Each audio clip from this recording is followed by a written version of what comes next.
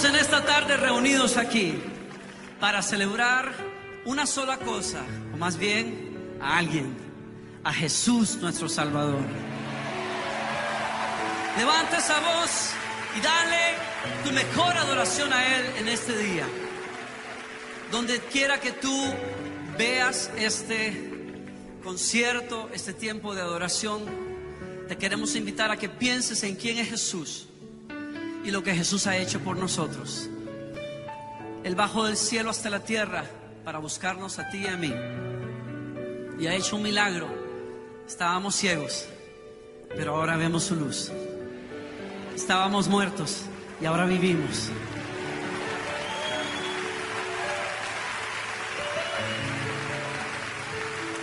No teníamos parte no teníamos parte en los propósitos de Dios con su pueblo Israel. Éramos extraños a ellos. Pero en Cristo Jesús Dios demolió las enemistades. Y a los que no teníamos patria nos hizo hijos de Dios, familia de la fe, hijos amados y escogidos y parte de la iglesia del Señor. ¿Cuántos le dan gracias a Él por eso? Eso somos tú y yo. Somos el pueblo del Señor. ¡Vamos!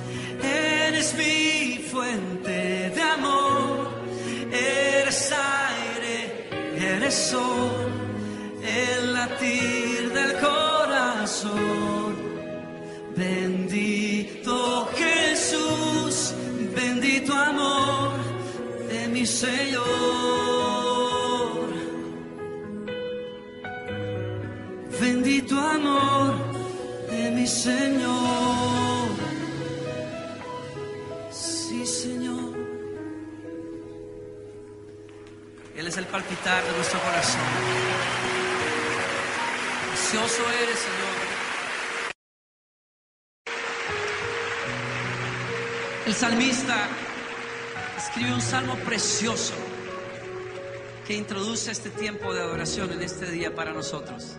Y él dice, dichosos los que están en tu casa. Dichosos y felices. ¿Sabes lo que quiere decir? Dignos de envidia aquellos que están cerquita de ti, Señor. Aquellos que contemplan tu rostro.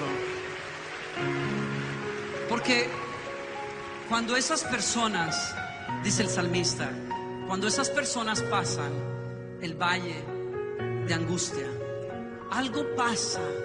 Esas personas logran encontrar fortaleza en Dios. La vida nunca los toma por sorpresa en un sentido, porque tarde que temprano ellos vienen a descansar en la fuente de todo poder y de toda victoria, que es nuestro Dios.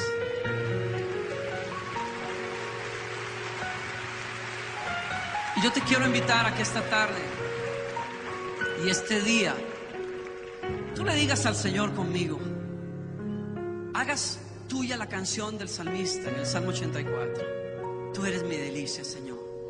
Te anhelo y te deseo. Mira, puedes haber estado, tal vez has estado deseando, buscando otras cosas, trabajo, dinero, recursos, alguien que te ame. Pero la persona la única que puede saciar la eternidad de tu corazón es Dios. Cuando tú vienes a su presencia,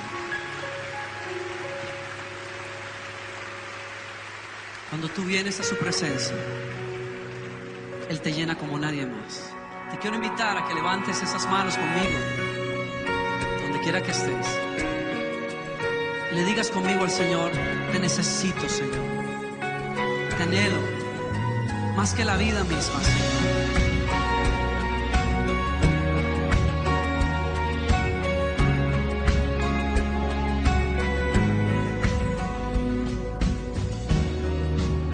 Es mi delicia estar en tu casa.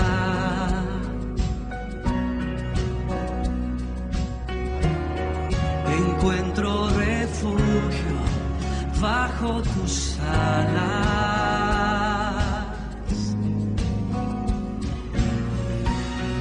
Dichosos te alaban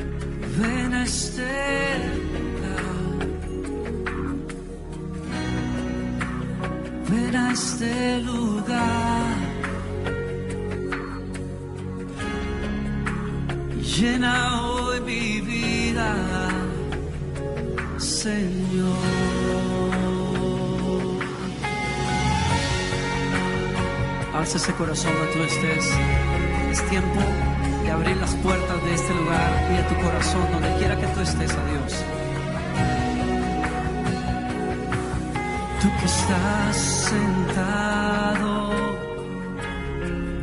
sobre querubines.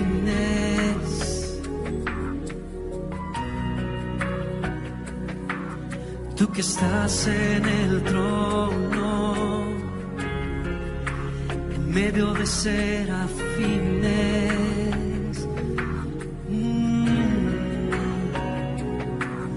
Tú que eres aclamado ángeles en este lugar.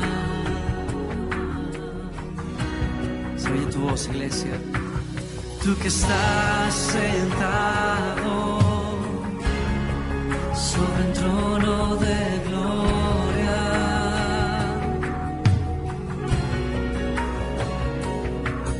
Tú que estás en el trono alabanza de tu pueblo.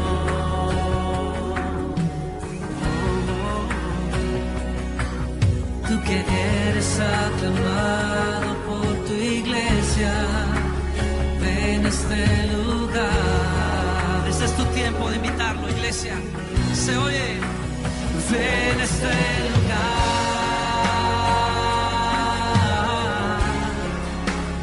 Ven a este lugar.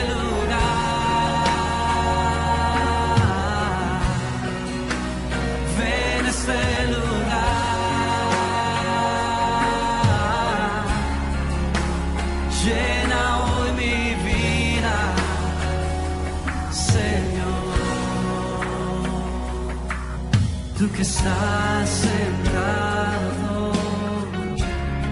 sobre un trono de gloria.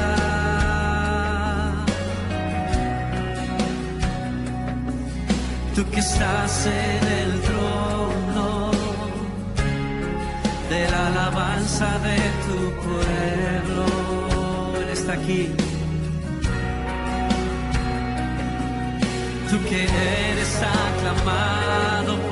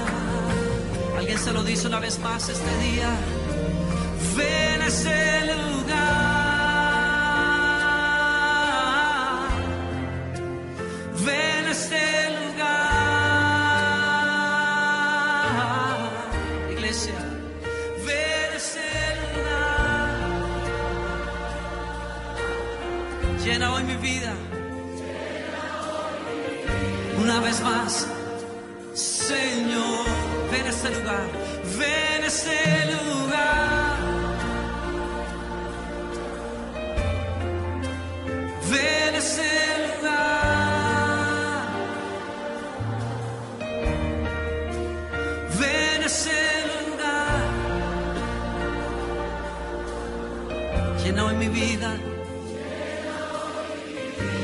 Cierra esos ojos, levanta esas manos.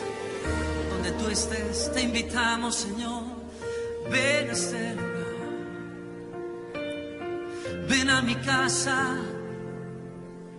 Te necesito. Oh Señor, ven a este lugar.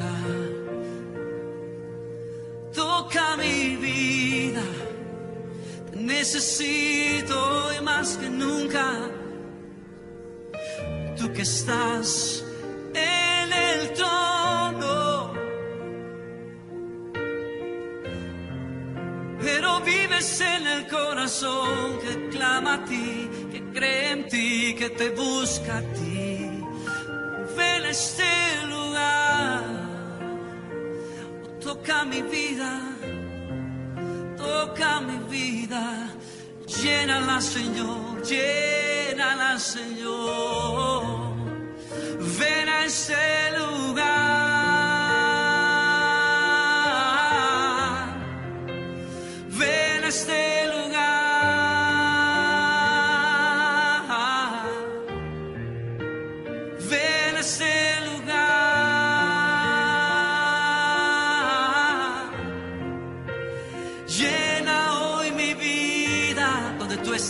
Clámale a Dios, Señor. Invítalo. Ven a este lugar.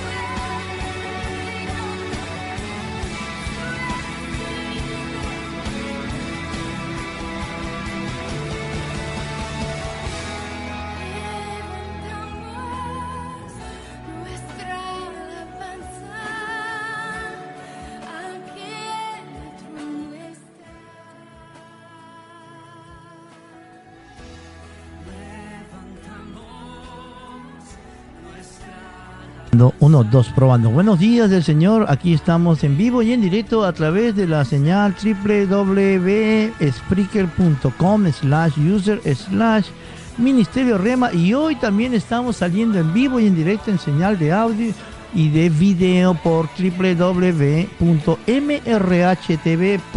La señal con un propósito definido. Eso es MRHTV un canal con un propósito definido. Estamos en señal de video y en audio por Spreaker para que puedas llegar hasta tu celular, hasta tu laptop, tu tableta, tu casa, tu vehículo.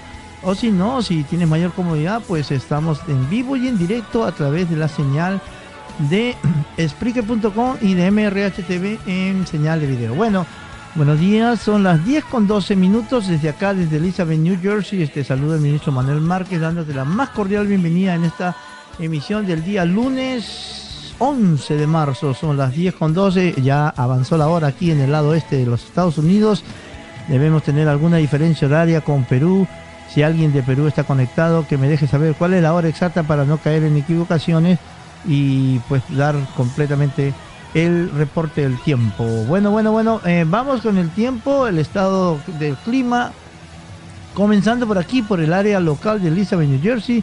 Tenemos 43 grados, no hay vientos, apenas 3 millas por hora los vientos del sur y un 90% de humedad. Está nublado, no hay eh, perspectivas de llovizna ni de lluvia, así que el asunto está bien claro. En La Habana tenemos muy buena temperatura hoy día. Bertita, Berta González, bienvenida a 64 grados Fahrenheit, parcialmente nublado, como que comienza a asomar un poquito más el sol, eso es bueno. En Montevideo, allá la tierra nuestro amado hermano Fabián Ojeda, que estuvo el día viernes compartiendo aquí la mesa de trabajo, tienen 72 grados Fahrenheit. A Huacatán, Guatemala, ayer nos llegó, ya tenemos una hermana de Guatemala en la congregación, la hermana Ruth, y estaremos dándote mayor detalles con respecto a esta hermana.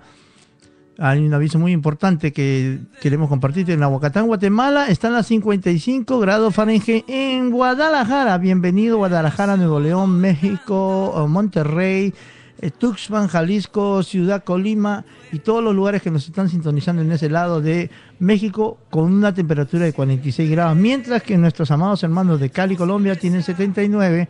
En San Juan, Puerto Rico tenemos 81 grados y en Lima, Perú un poco nublado igual que acá, pero con 73 grados Fahrenheit. Ese es el reporte del tiempo para el día de hoy. Hoy tenemos un buen programa, eh, estamos con el tiempo un poquito apretadito hoy día, tenemos que cumplir algunos compromisos, pero estaremos tratando de desarrollar el tema.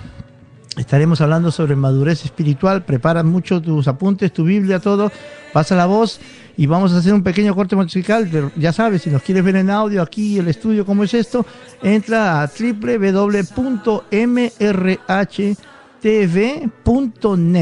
Cuando entras a la página, encuentras el link que dice acceso directo y ese link te va a dar directa la señal de, bueno, para que nos puedas ver y puedas ver cómo es más o menos aquí el estudio. Ya tú sabes, son las 10 de la mañana con 14 minutos, seguimos con un poco más de música de Danilo Montero y volvemos en breve. Bendiciones.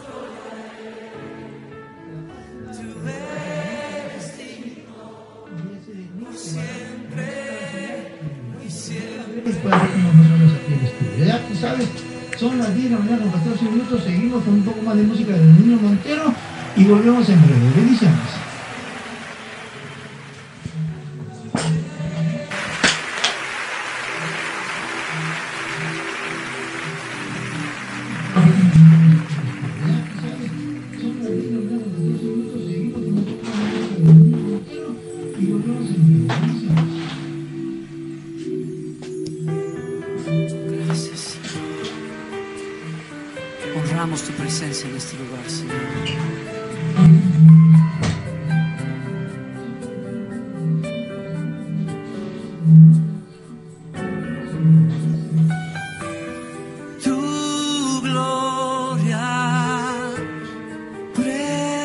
presencia.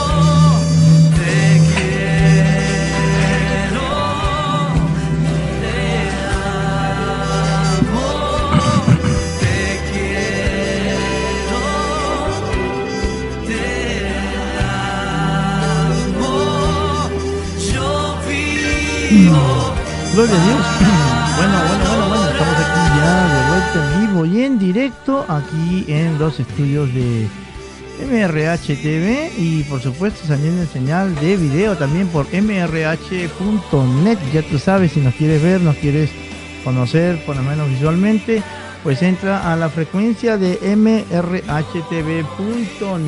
Vamos a ver, ya nos están escribiendo acá. Oh, se llenó el cuadro completito aquí en lo que es el Facebook. Vamos con los saludos respectivos a nuestros hermanos que ya están conectados. Bienvenido, ministro Alex Ortiz. Eres una bendición para el Señor y para la viña del Señor. Gloria a Dios que estás eh, conectándote. Saludos a tu amada esposa allá en Perú. También para la familia Cruz. Veo que está Cristian y está María. Y de seguro también está nuestro hermano Chano escuchando la palabra del Señor. En esta mañana te bendecimos y hablamos palabra de vida eterna. Bienvenida también nuestra hermana Cintia. Daima, buenos días, Daima. Si nos estás escuchando, nos estás sintonizando, gloria sea al Señor. Bendecimos a nuestra hija Diana, también Diana Chávez que está en la sintonía. La pastora Gina Bless, nuestra hermana Ilsen Mol- Morales. Maite Molina, que ayer te extrañamos, no pudiste llegar, pero te extrañamos en la iglesia. María Cruz, nuestra hermana fiel oyente que ayer se estuvo gozando y deleitando del servicio de la palabra que transmitimos en vivo y en directo. También saludo a mi hija Sandra, bendiciones del Señor, a mi hermana Zulma Cabrera y a todos los que están en la sintonía, pero que no están en el en el Facebook, que yo sé que están ahí, como el hermano Fabián Ojeda, gracias, varón de Dios, por tus palabras, bendito sea el Señor, y gracias por haber estado este viernes compartiendo con nosotros aquí los micrófonos. Saludamos también a nuestra hermana Berta González, a nuestra hermana Juanita Salas, y todos los que por ahí estén conectándose en este momento, en vivo y en directo. Este es tu programa. Este es tu programa Palabra, Música y Noticias por MRH TV. Bueno, sigo esperando a algún, bueno, un hermano de Lima, Perú, que nos puede escribir. Gracias, María, que nos está saludando a través del chat. Recuerden los hermanos que nos ven por, el, por la señal de video. Al lado derecho tienen un chat directo donde podemos conversar, podemos compartir las cosas que ustedes quieran eh, compartir. Y por supuesto, eh, es bien sencillo. Solamente tienes que abrir una cuenta sin dar ningún número, ni información, ni tarjeta de crédito, nada complicado. Y este, una vez que abriste la cuenta, pues te pones un, nombre, un nickname o un sobrenombre y podemos chatear así como nos está saludando en estos días, en estos momentos nuestra hermana María Cruz. Buenos días y bendiciones para todos, nos dice ella, vía www.mrhtv.net. Bueno, hermanos, amados, espero que hayan pasado un lindo domingo, una buena mañana. Y nosotros estamos contentos ya de vuelta aquí, eh, disfrutando de, un día más de vida que el Señor nos ha brindado. Estamos comenzando una semana llena de expectativa, llena de... Bueno, vamos a ver qué es lo que hace el Señor en esta semana. Sé que va a ser bueno, como todo lo que Él hace. Y te invito a que estés en esa misma expectativa para que puedas recibir de parte de Dios lo que Dios tiene preparado para tu vida. Vamos a ver, vamos acomodándonos aquí y ya vamos a entrar de lleno ahorita en la palabra de Dios. Bueno, los que están con su Biblia en mano, les invito a buscar la porción bíblica de Primera de Reyes capítulo 19 y los que están tomando notas escriban ahí Primera de Reyes capítulo 19 versículo 19. Perdón. Vamos tomando acá algo calientito. Primera de Reyes capítulo 19 versículo 19 Vamos a ver quién me dice amén por ahí, que ya está ya con la, ah, con la escritura. Recuerda que me puedes buscar por el chat como Manuel Márquez. Ahí me vas a encontrar. Marluce, buenos días. Oh, Marluce, eh, mira, te voy a pasar un dato aquí, hermana María Cruz. Tengo dos hermanas de Brasil, Marluce y, y Lula. Y ellas, bueno, yo les escribo en español, en inglés y ellas me responden en portugués. Así que vamos a ver cómo me ayudas con el idioma, María. Pero ellas entienden, ¿eh? Ayer estuvieron incluso eh, reclamando ahí alguna oración para, para sus vidas. Eh, ministro Ortiz, si está usted en la línea, déjeme saber. Eh, vamos a escribir acá qué hora es allá. Para estar seguros. La diferencia horaria, porque no veo a mi hermana, Sara Flores, no la veo. Posiblemente con el cambio de hora, pues posiblemente todavía no esté en el trabajo. Bien, ya estamos ya con Primera Reyes capítulo 19. Gloria a Dios, tenemos aquí una llamada. Esta no es, este es negocio, esto no es, a esta hora no se contesta ese tipo de llamada. Lo dejamos ahí. Ok. Vamos con la palabra en Primera Reyes capítulo 19, versículo 19 en adelante y hoy hablaremos el tema madurez espiritual y hablaremos muchos puntos, muchos puntos que nos van a bendecir a todos, desde quien te habla hasta ti, hermano, que nos escuchas, ya sea por audio o por video. Yo sé que la palabra te va a bendecir grandemente. En 1 Reyes capítulo 19, versículo 19, la palabra de Dios dice lo siguiente. Partiendo él de allí, halló a Eliseo, hijo de Safat, que araba con doce yuntas delante de sí, y él tenía la última. Y pasando Elías por delante de él, echó sobre él su manto. Entonces, dejando él los bueyes, vino corriendo en pos de Elías y dijo, te ruego que me dejes besar a mi madre y a mi padre, y luego te seguiré. Y él le dijo, ve, vuelve, ¿qué te he hecho yo? Y se volvió y tomó un par de bueyes y los mató, y con el arado de los bueyes coció la carne y la dio al pueblo para que comiesen. Después se levantó y fue tras Elías y le servía. Gloria a Dios. Y se volvió y tomó un par de bueyes y los mató y con el arado de los bueyes coció la carne y la dio al pueblo para que comiesen. Después se levantó y fue tras Elías y le servía. Padre, en el nombre de Jesús, bendecimos esta mañana preciosa, Señor. Bendecimos este día. Este es el día que tú has hecho. Nos vamos a gozar, nos vamos a deleitar en el Señor.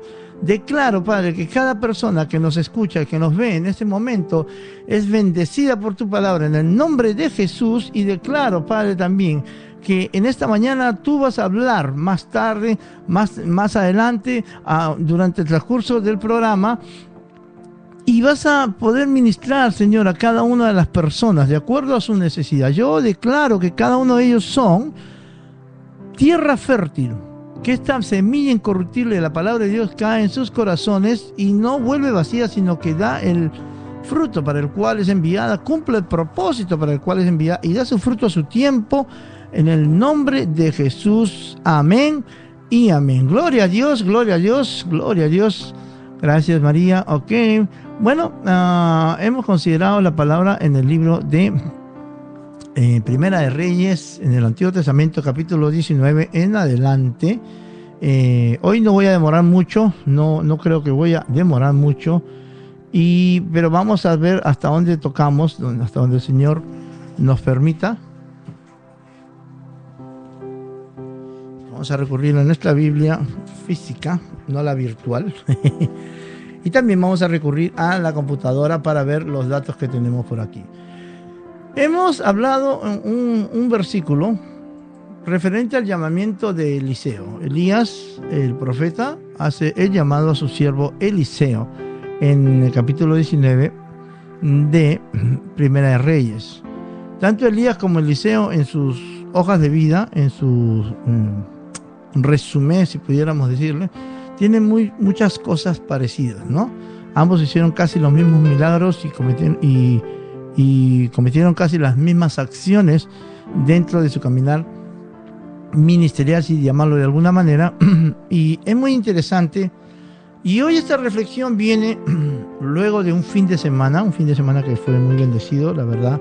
Estuvimos eh, compartiendo la palabra ayer con el pastor, los pastores que ya están de vuelta, el pastor Eduardo, la pastora Rosana, ya están de vuelta y bueno, nos compartieron la, bendita palabra. La, el servicio salió muy lindo porque eh, pues la iglesia estaba llena y había un buen ánimo eh, de parte de las personas de poder participar y poder eh, estar con nosotros compartiendo.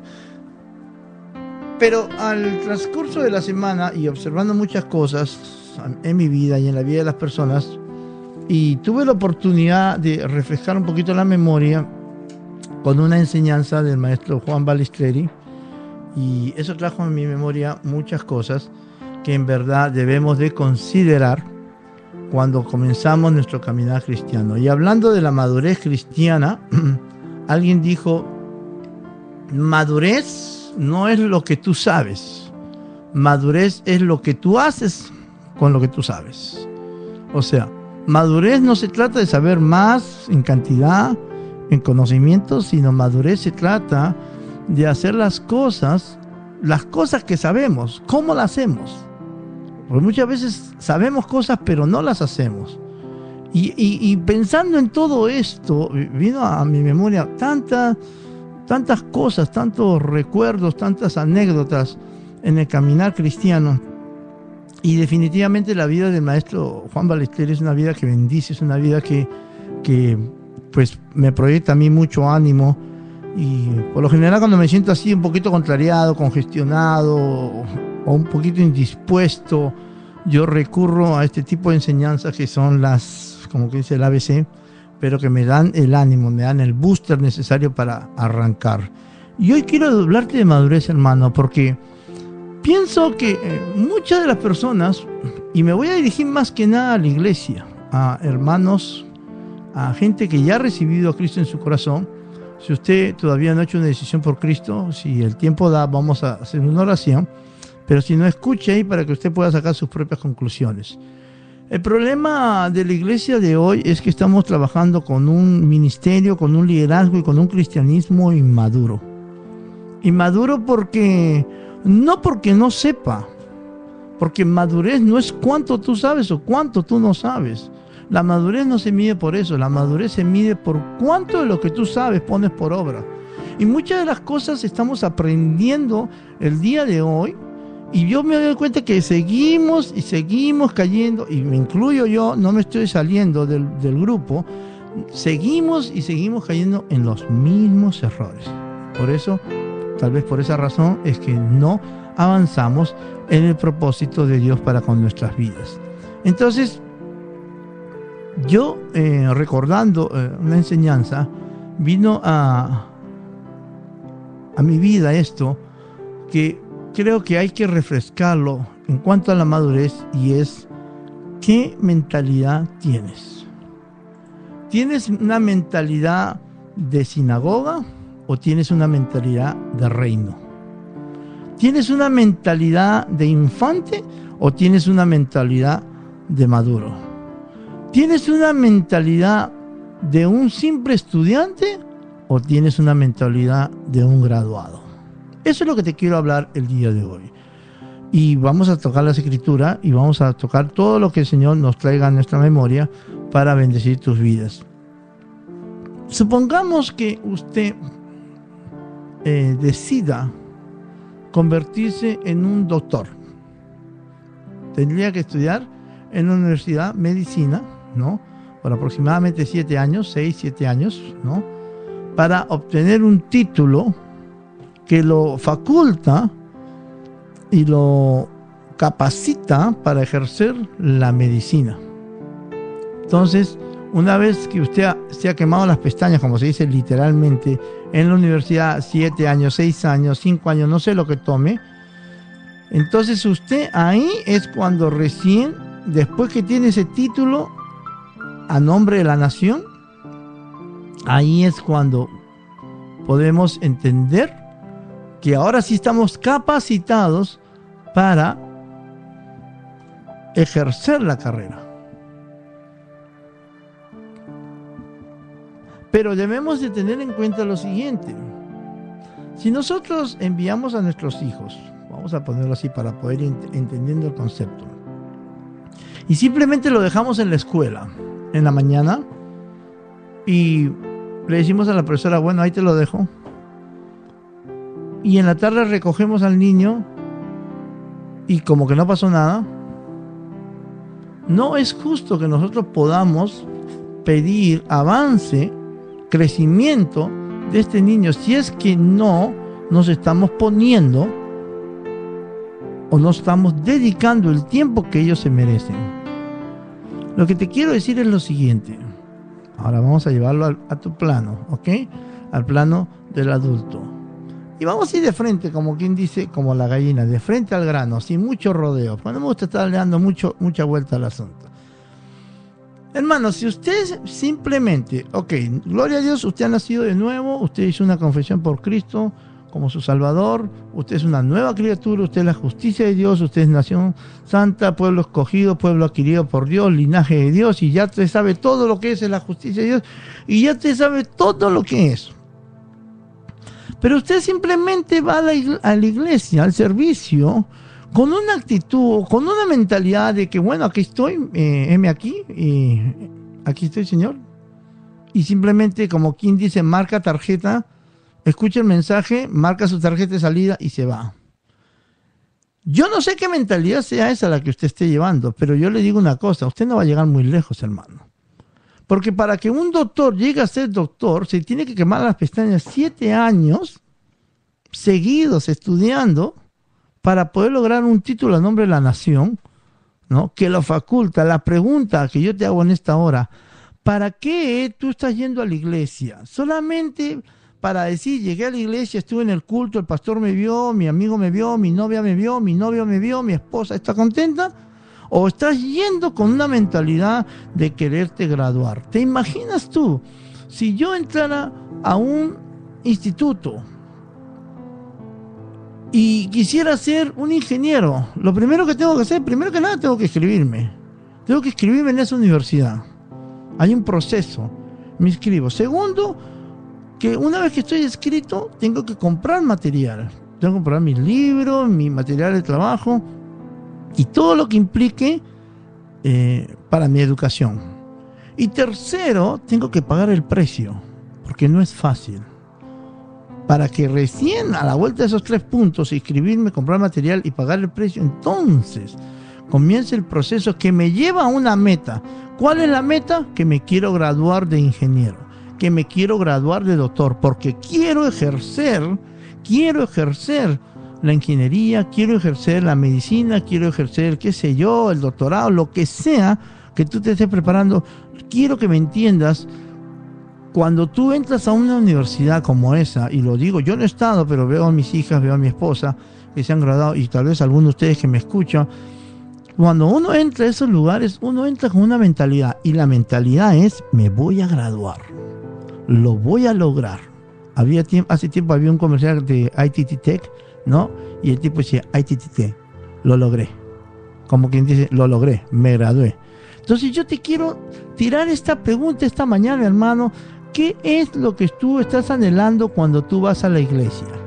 ¿Qué es eso que tú quieres alcanzar? ¿De qué te quieres graduar?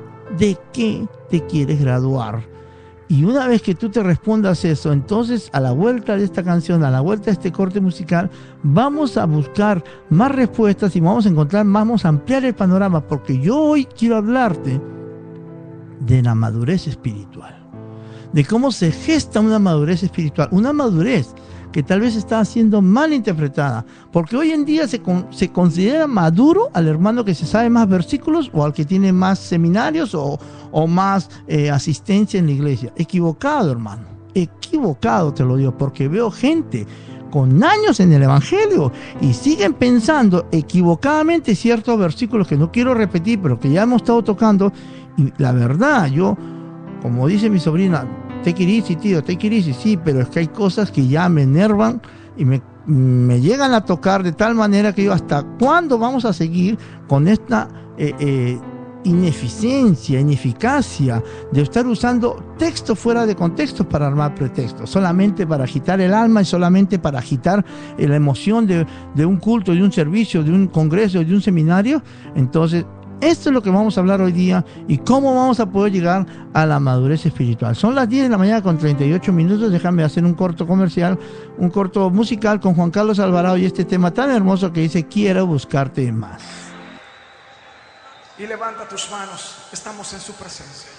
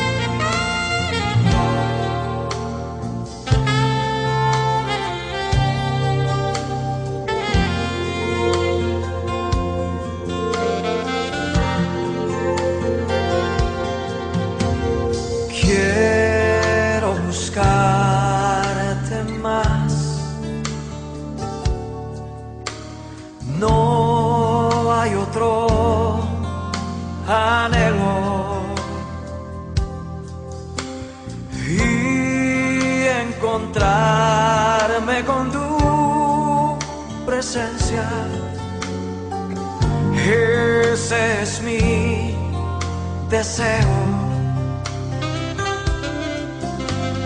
Quiero adorarte más. No hay otro anhelo.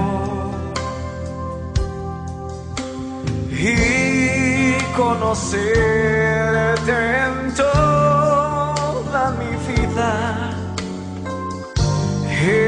Es mi deseo. Y al contemplar tu santidad y la belleza de la gloria de tu rostro, Jesús, yo no puedo sino estar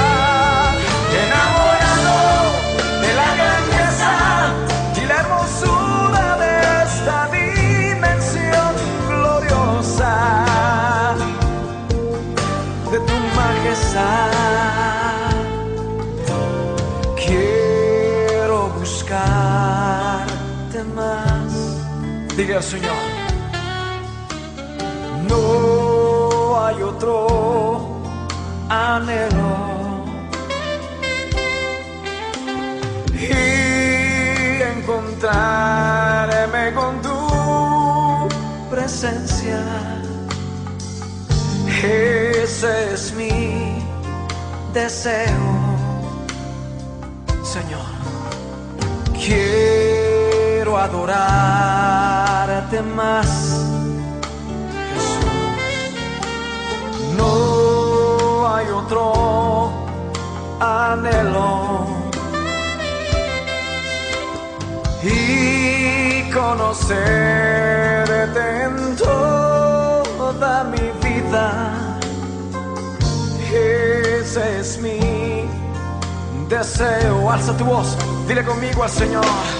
Y al contemplar tu santidad y la belleza de la gloria de tu rostro, Jesús, yo no puedo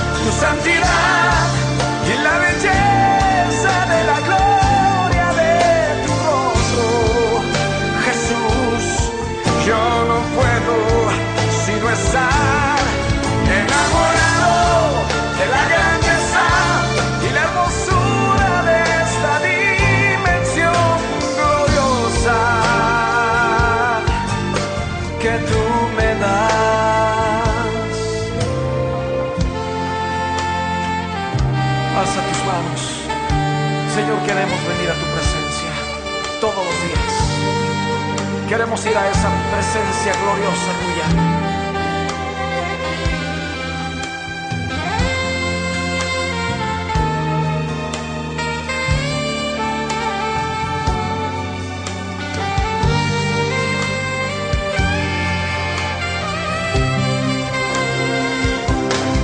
Y al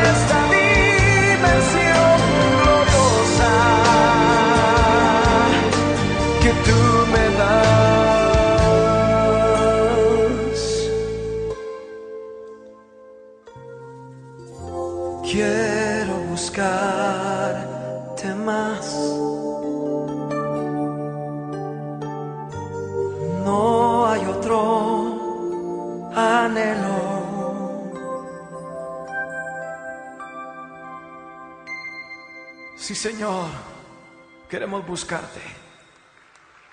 Queremos estar ahí todos los días.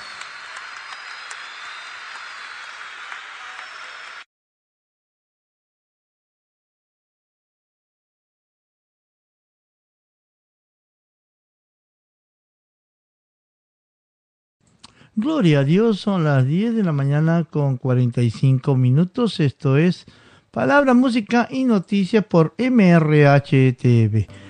Bueno, estamos aquí contentos nuevamente. eh, Amén. Glos- Gloria a Dios.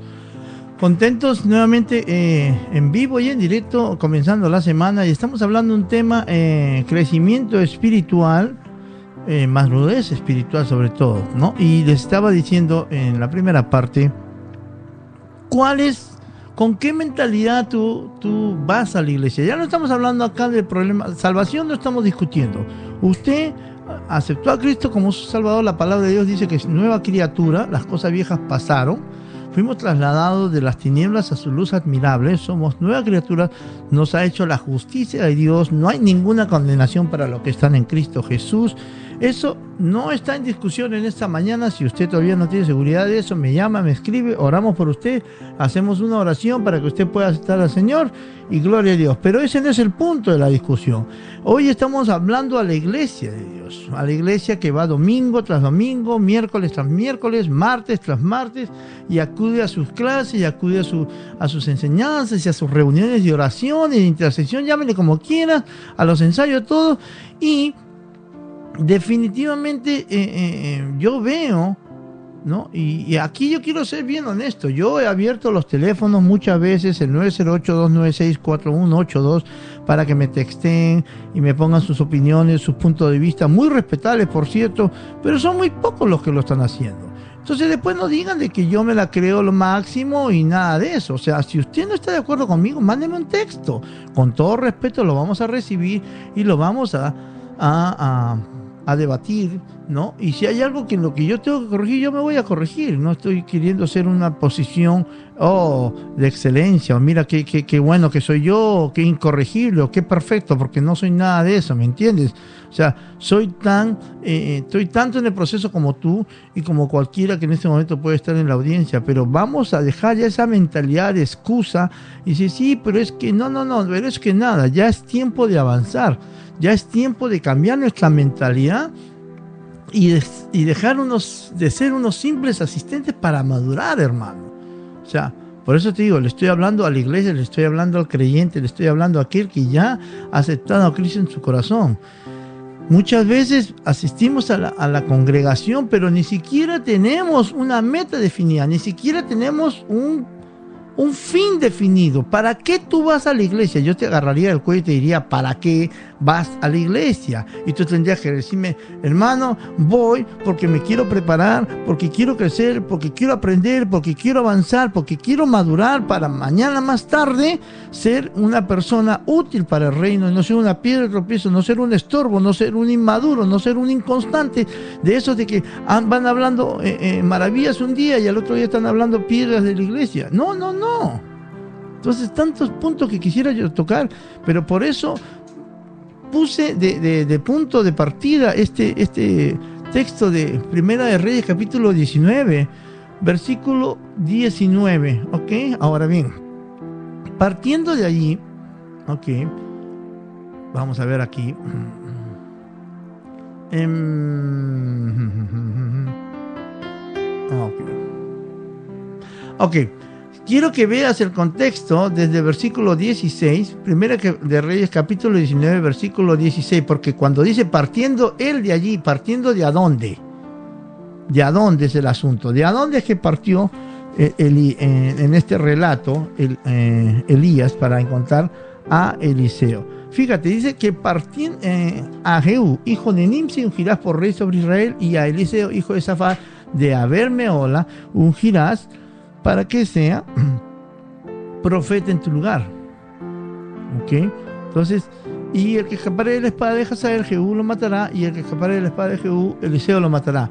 Y yo haré que queden en Israel siete mil cuyas rodillas no se doblaron ante Baal y cuyas bocas no lo besaron. Entonces, partiendo él de allí, halló a Eliseo. Ahora, muy bien, yo les he dicho de que los nombres en la Biblia tienen significado, ¿no? Y es importante que veamos aquí, cuando dice a Jehú, ¿ok? Jehú, hijo de Nimsi, Jehú significa de Dios, ¿no?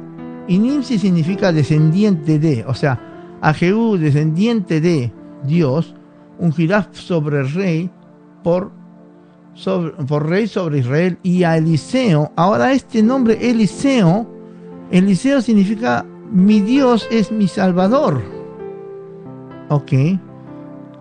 Mi Dios es mi Salvador.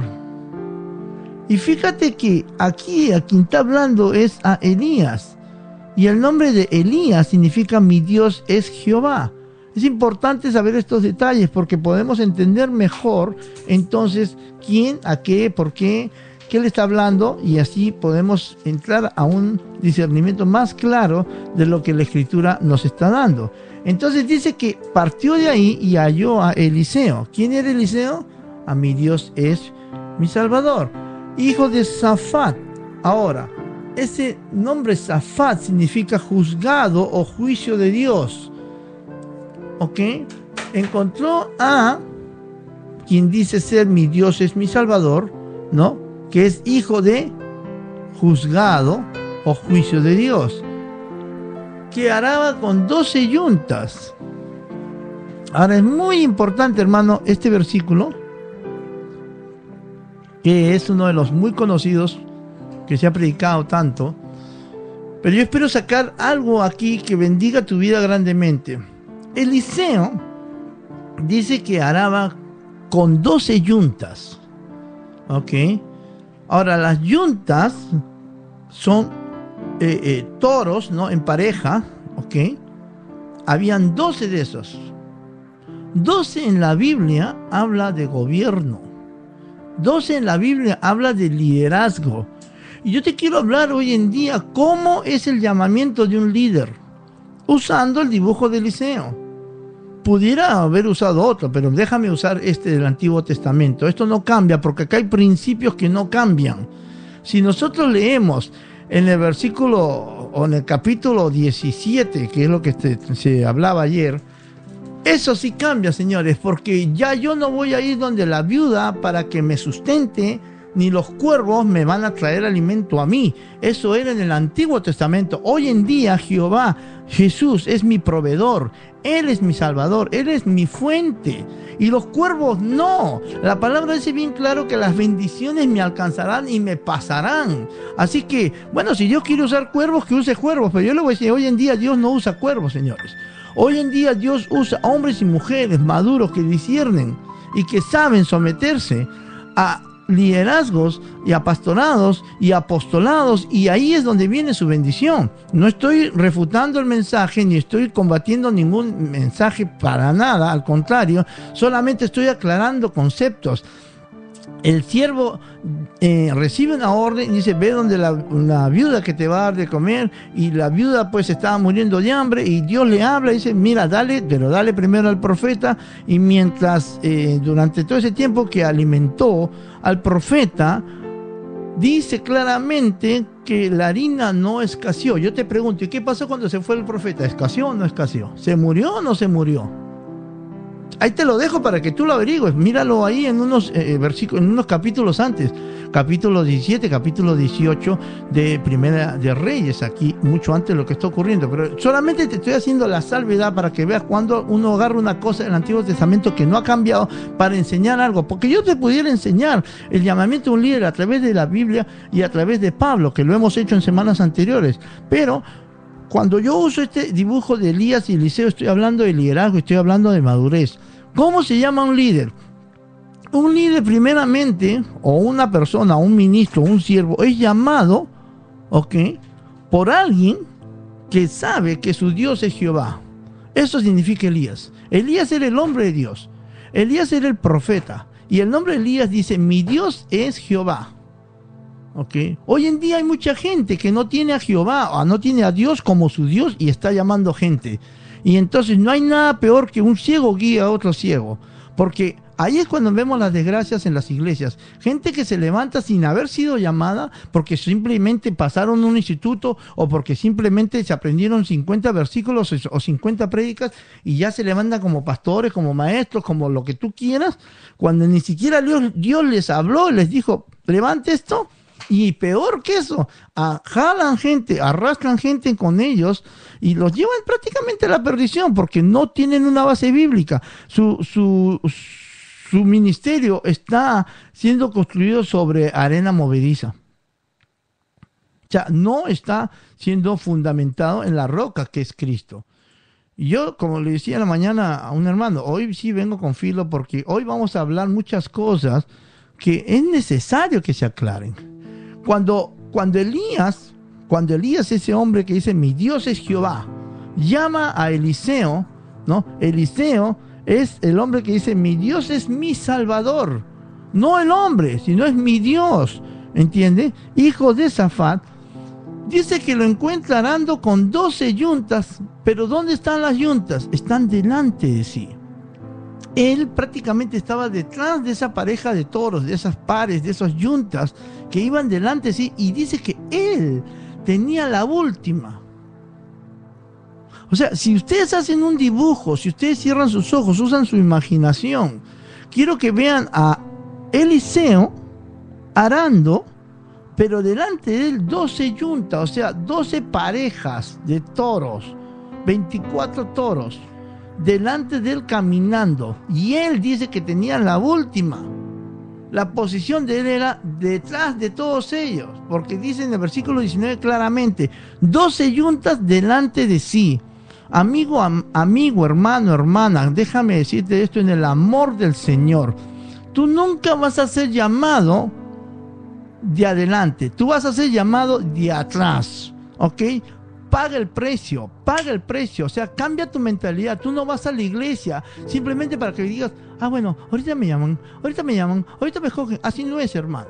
Así no es. O sea, quiero que entiendas claramente, Eliseo estaba caminando detrás de las doce yuntas y él tenía la última. O sea, quisiera ponerte una foto, quisiera ponerte un dibujo, pero lo único que te pido es que recurras a tu imaginación. Doce, en la Biblia habla de gobierno. De hecho, el número 2 es muy interesante, es muy complejo, es muy amplio para explicarlo. No vamos a detenernos ahí, pero solamente quiero que veas 12 como el concepto de gobierno. Dios llama al hombre o a la mujer que se somete a un gobierno y someterse es orden, hermano. Someterse no es, bueno, lo hacemos así, bueno, lo hacemos así. Eso es improvisar. Y en el reino de Dios las improvisaciones no tienen lugar. Porque ahí cuando se improvisa, ¿eh? porque ahí cuando se trabaja así en el desorden, ¿sabe qué? Satanás se ríe, hermano. Satanás se ríe, Satanás ni se preocupa. Porque Dios dice su palabra, Dios es orden. Dios es orden, Dios no improvisa, Dios no cambia de idea, Dios es el mismo ayer, hoy y siempre, por siempre. Y Dios trabaja en orden. Y te estoy hablando a ti que me estás escuchando, que anhelas ministerio, que anhelas servicio, que anhelas liderazgo, que anhelas llamamiento, a decirte, ponte como el Eliseo detrás, detrás, detrás de las doce yuntas. Porque la palabra dice claramente, míralo esto, si es que me está siguiendo, espero que me esté siguiendo en la lectura, yo tengo la Biblia acá frente a mi pantalla, dice, y él tenía la última. ¿Tú sabes lo que es ir detrás de 24 toros? Te lo voy a explicar y te lo voy a explicar con todo respeto para que entiendas. Porque pues dice, pero ¿cómo es esto, hermano? Ok, bien, la Biblia habla mucho en dibujos, en símbolos, en representaciones, pero también tú tienes que usar la imaginación para que puedas entender qué es lo que la Biblia te estaba diciendo ahí. Primero que nada era Eliseo el que iba a ungir, eh, perdón, Elías el que iba a ungir a Eliseo, el que lo iba a encontrar, ¿ok?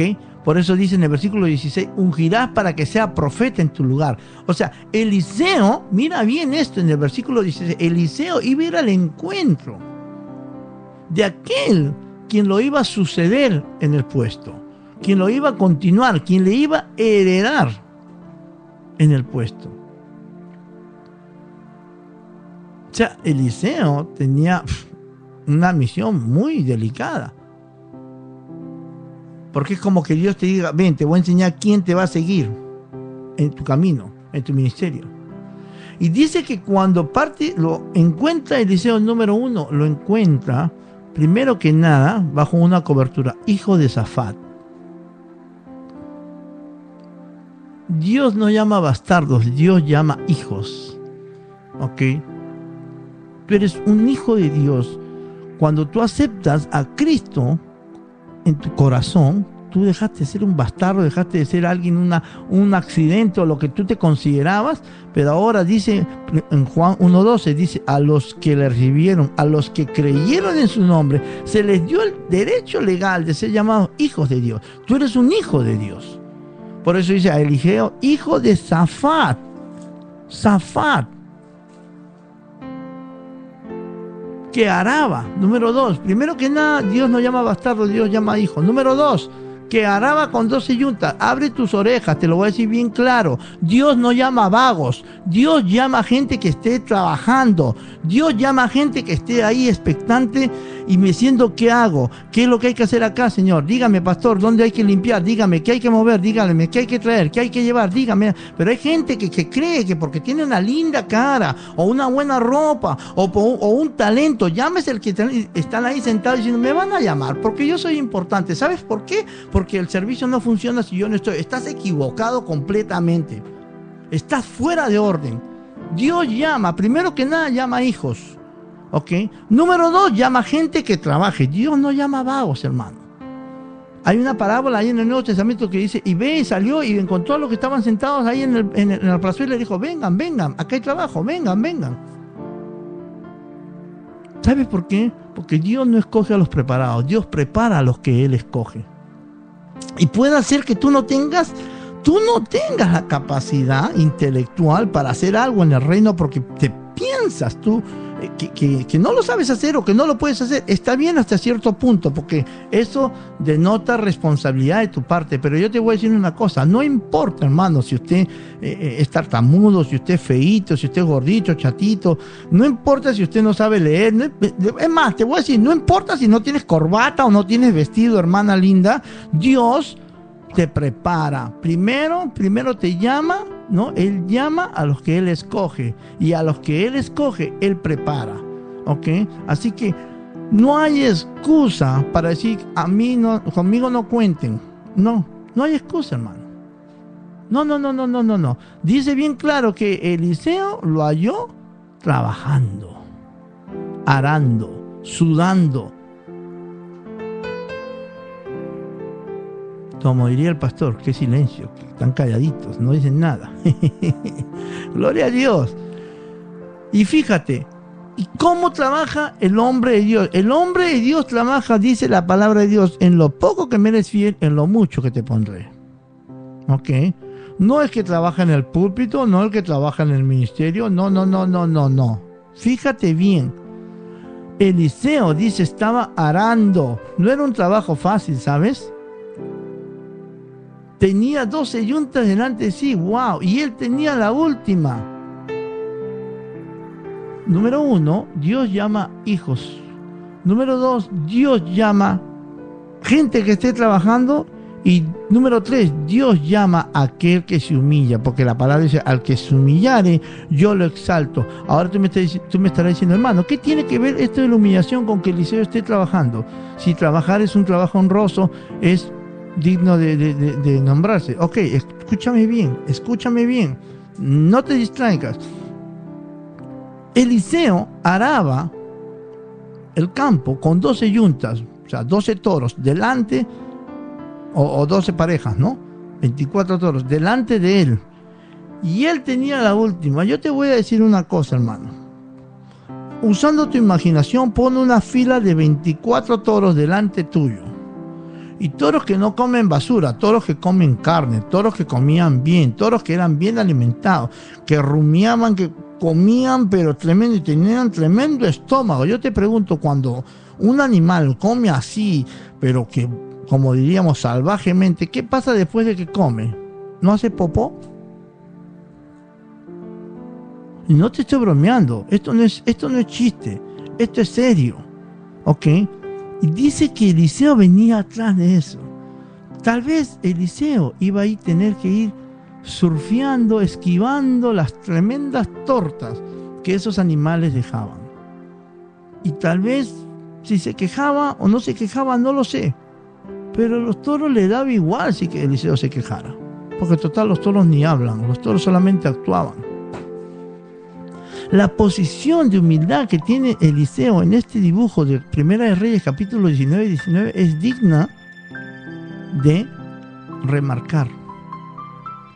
Muchas veces, hermano, nosotros estamos en una posición y estamos y dice, ok, Señor, yo me voy a someter. Te voy a decir, en el liderazgo vas a encontrar un montón de errores, vas a encontrar un montón de yuntas caminando delante tuyo. Y esas yuntas haciendo cada torta, como se diría así, ok. ¿Sabes qué? Quédate callado. Porque el hombre de Dios sabe en qué momento, en qué momento sabe que tarde o temprano Dios lo va a llamar. Porque los ojos de Jehová están sobre la tierra buscando a quien bendecir, hermano. Estoy hablándote de madurez. Estoy hablándote de crecimiento espiritual.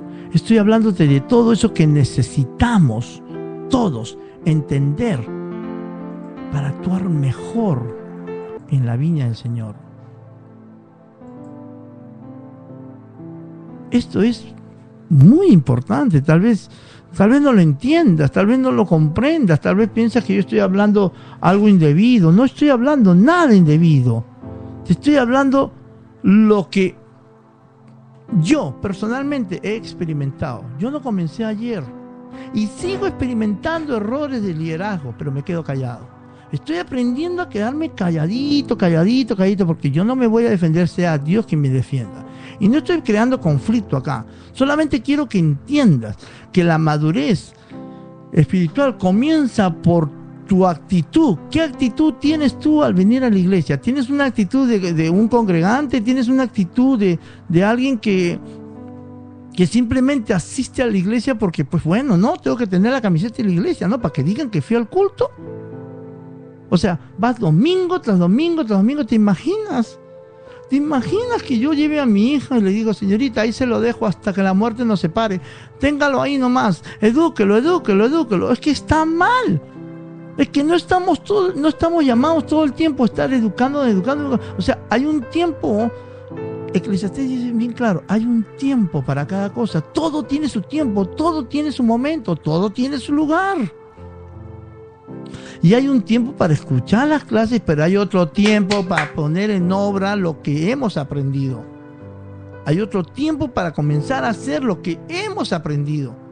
Eso es madurez. Elías va y nota bien, por favor, míralo en tu Biblia.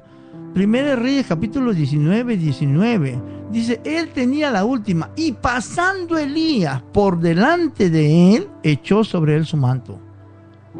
Hermano, no importa en qué posición tú estés trabajando, calladito, mire, tarde o temprano, el hombre de Dios va a venir y va a pasar entre todo ese liderazgo y sobre ti va a echar su manto, va a echar la cobertura, va a echar lo que verdaderamente te va a hacer un hombre de Dios cuando aprendas a trabajar bajo una cobertura y no bajo tu tu habilidad, bajo tu talento, bajo tu don, bajo tu gracia o bajo tu carisma, porque son dos cosas diferentes. Y no, entonces en ese momento estaremos aprendiendo lo que verdaderamente es madurez espiritual. Pensamos que somos maduros porque nos sabemos 24, 5 versículos, qué sé yo, o no sabemos los coritos, o no sabemos los himnos, o no sabemos las historias de la Biblia. Eso no es madurez, eso es conocimiento simple, simple y llanamente. ¿Quién te dijo que es madurez? Eso no es madurez. Eso solo es conocimiento. Y ni siquiera es sabiduría, porque sabiduría es el conocimiento en acción. Voy a hacer un corte a las 11 con 9 de la mañana. Esto es Palabra, Música sin Noticias. Espero que eh, esta palabra esté tocando tu vida. Déjame hacer un corte. Voy a leer algunos textos que me están entrando aquí y vuelvo inmediatamente contigo. El Señor continúe bendiciendo. 11 con 9 minutos. antes de pasar a esto, déjame ver. Acá tenía un. Ah, sí, sí, sí, sí. Ok, vamos con este, ese tema que me habían pedido de Marcela Gándara se titula Tu Palabra. 11 con 10 minutos en Palabra, Música, Noticias. Este es el ministro Manuel Márquez. Dice, no te vayas, ya regresamos inmediatamente.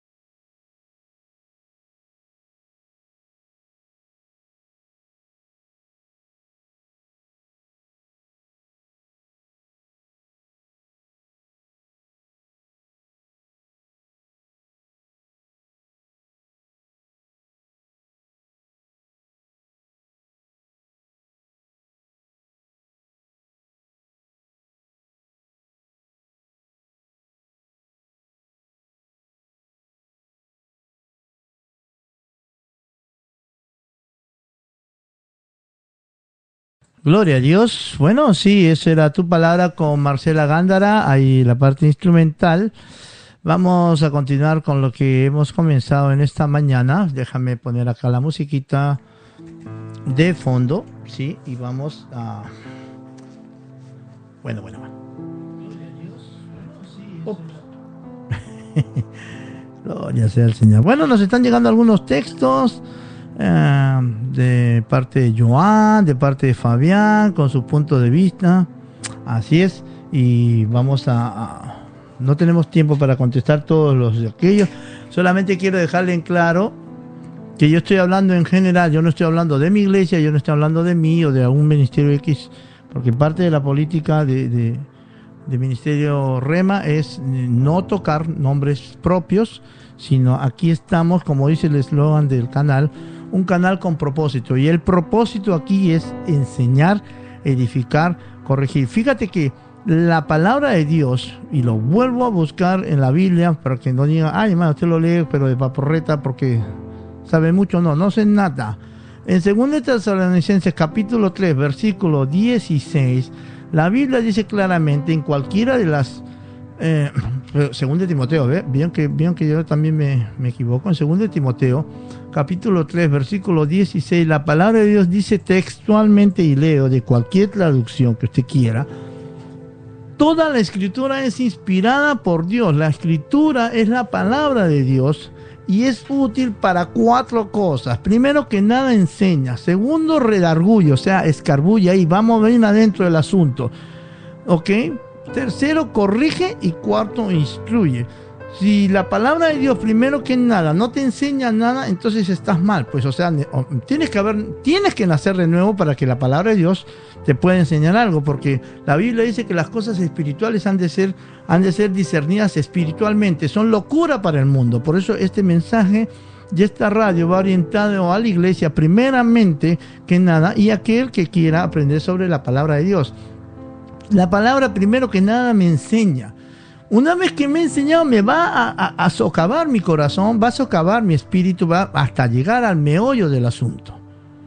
¿Y para qué llega ahí? Para corregirme.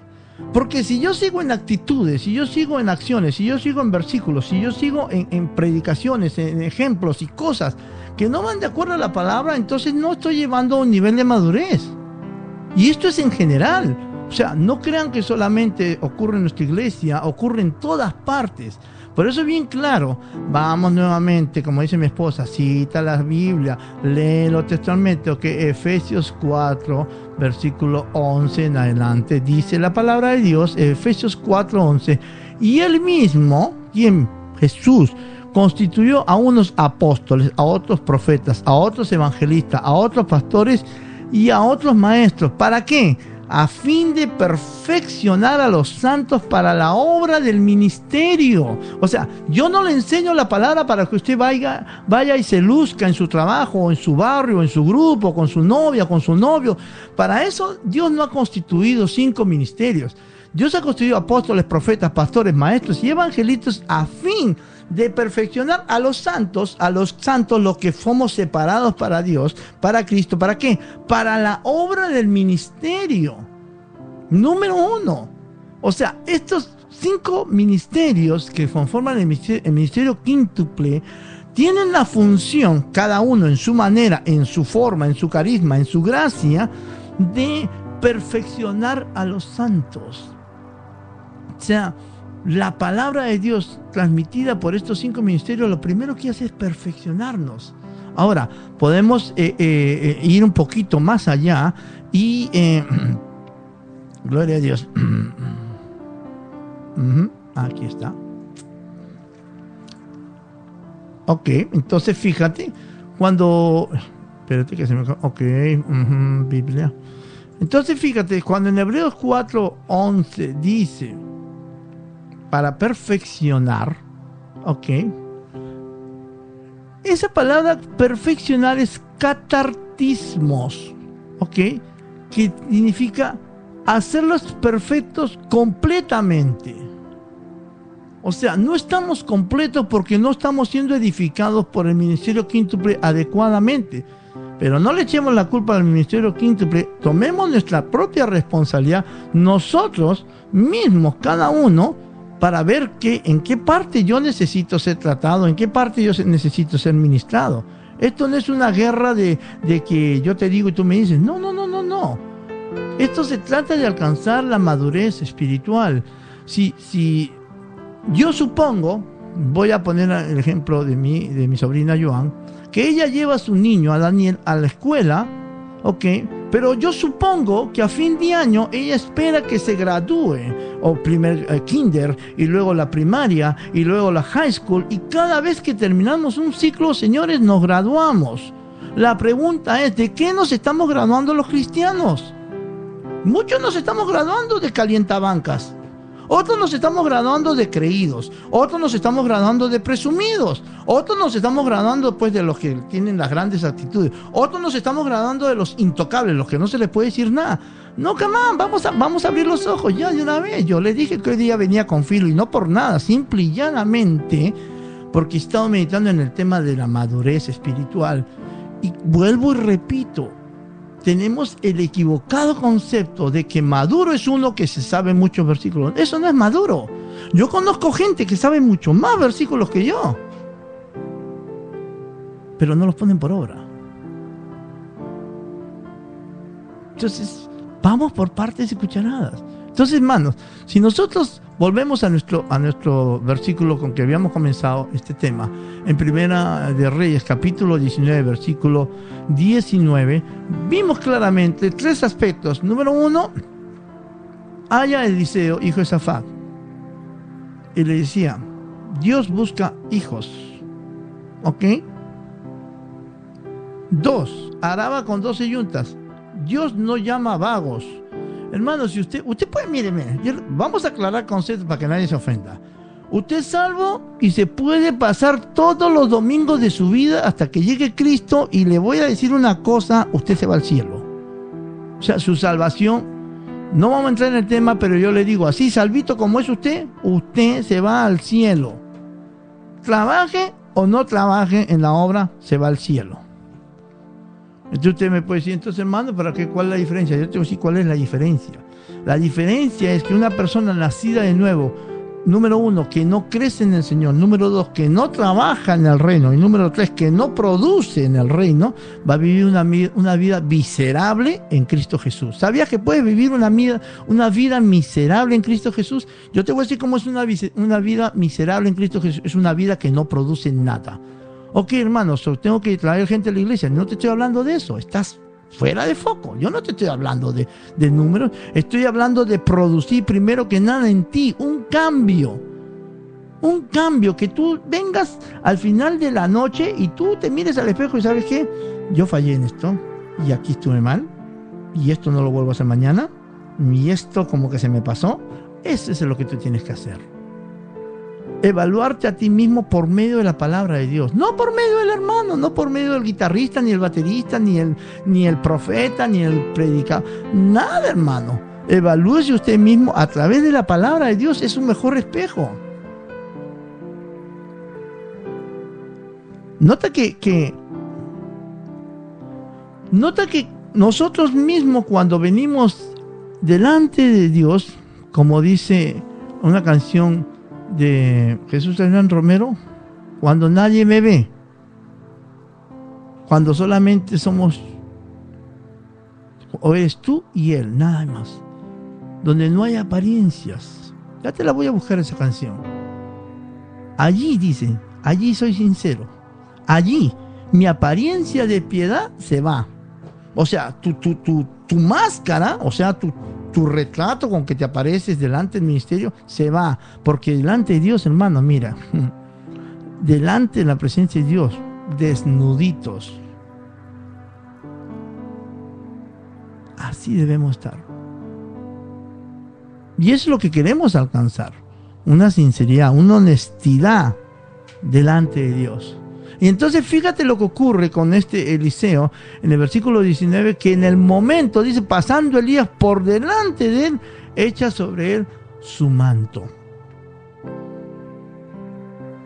Ahora, yo te lo estoy diciendo a la vuelta de 20 años en el ministerio. No te lo estoy diciendo porque nací ayer, ni tampoco porque lo sé todo. Porque este mensaje yo más de una vez lo he predicado, más de una vez lo he compartido, lo he enseñado en seminario de liderazgo, el llamamiento de un líder, y acá hay mucho. No te estoy dando casi la profundidad de, de todo este relato. Estoy tomando, por ejemplo, este pasaje de la Biblia, de 1 Reyes, capítulo 19, versículo 19 en adelante, para decirte cómo es que un líder es llamado. Entonces, mira, mira la actitud de un líder un verdadero líder. Mira, versículo 20. Primer Reyes capítulo 19, versículo 20. Entonces él, Eliseo, ¿ok? dejando los bueyes, vino corriendo en pos de Elías y dijo, nota la actitud de él, ¿no? Elías va y le echa el manto él dice que deja los bueyes y viene corriendo en pos de Elías. Si nosotros vamos al, pasaje del hijo pródigo, el hijo pródigo que se fue porque primero que nada le dijo al padre, hazme, no, dame, dame mi parte que me merecía, dame mi parte que, que a mí me corresponde. Ese hijo pródigo no sabía muchas cosas y por eso actuó así. Y vamos a verlo, ¿qué te parece? Vamos a pasarnos ahí. Hoy no hay apuntes, hoy no hay Biblia, hoy no hay nada. Solamente te pido que vayas a, Lucas capítulo 15, debe estar eso sí. Vamos buscando en la palabra de Dios. Hoy no tenemos notas, el tema está saliendo en vivo y en directo. Lucas capítulo 15, estamos hablando sobre la madurez espiritual. ¿Ok? Qué bueno el Señor, ¿eh? Que nos trae esta palabra. Mm, ok. Ok. Bueno, esto es un adelanto para lo que vamos a hablar la próxima semana. Aunque para la gente que va a la escuela bíblica de nosotros ya no es novedad. Pero yo siempre te he dicho que cuando Dios te habla en número 3, te habla como algo completo, te habla como algo que ahora sí, pon atención a esto que lo que te voy a decir viene bueno. Y si tú te fijas en Lucas 15, 1, primero tenemos la parábola de la oveja perdida. Luego tenemos la parábola de, de la moneda perdida. Y por último, en el versículo 11 tenemos la parábola del hijo pródigo.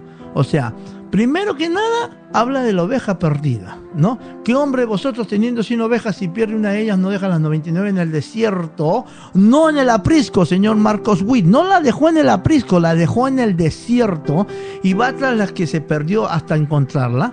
Y cuando la encuentra la pone sobre sus hombros gozoso y al llegar a casa reúne a sus amigos y vecinos diciéndole gozados conmigo porque he encontrado mi oveja que se había perdido. Ve que no soy pesado, ve que le estoy hablando la palabra de Dios, porque esto es lo que les decía el otro día, el hombre no fue diseñado para gobernar hombres, sino para gobernar ambiente. Cuando yo entro a un lugar, yo percibo yo, y no soy profeta, y no soy vidente ni nada, pero es fácil cuando uno entra a un lugar y percibe el ambiente. ¿Quién lo está gobernando, el orden o el desorden? Para mí eso es fácil, hermano. ¿Saben por qué? Porque voy por la palabra de Dios. Cuando yo veo que en un ambiente hay desorden, mm, esto está gobernado por el desorden, se acabó el problema. No hay más, no hay más vuelta que darle. Pero aquí resulta que el hombre deja sus 100 ovejas en el desierto, porque esas ovejas no las gobernaba un hombre, ya había un ambiente, un ambiente sobre esa gente que aunque se vaya el pastor, aunque se vaya el profeta, aunque se vaya el apóstol, aunque se vaya el maestro, aunque se vaya el evangelista, la iglesia sigue trabajando. ¿Me entiende? Gloria a Dios. Yo no sé por qué insisto en eso, pero por algo será. Número dos, la parábola de la, moneda perdida. Dice, ¿qué mujer que tiene 10 dracmas y pierde una drama no enciende la lámpara y barre la casa y busca con diligencia hasta encontrarla? Y cuando la encuentra, reúne a sus amigas y vecinas diciéndose, gozados conmigo porque he encontrado la drama que había perdido. Así mismo que hay gozo delante de los ángeles de Dios por un pecador que se arrepiente. Oye, si nosotros tuviéramos esta, esta, esta revelación, si nos entendiéramos de que un alma perdida que viene a los pies del Señor, suficiente, el día está pagado, señores, no nos acostaríamos esta noche si no le predicamos la palabra de Dios a alguien. Y no te estoy hablando de predicarle a alguien bien parado, con buena billetera, te estoy hablando de ir por ahí y decirle, Dios te ama, Jesús te ama. Tú eres creación de Dios, pero puedes ser un hijo de Dios. O sea, tener ese valor evangelístico de poderle predicar la palabra con todo de nuevo a la gente. Entonces usted se puede ir tranquilito a su cama. Pero nosotros no vamos tranquilo a la cama porque, pues, ¿qué va a dar, no? Una, un alma que se pierde. Bueno, mañana me la recupero, mañana la llamo, ¿no? O sea, ¿qué, qué más da? Imagínense. Entonces aquí una vez que hemos visto, estas dos parábolas, llegamos a la famosa parábola del hijo pródigo.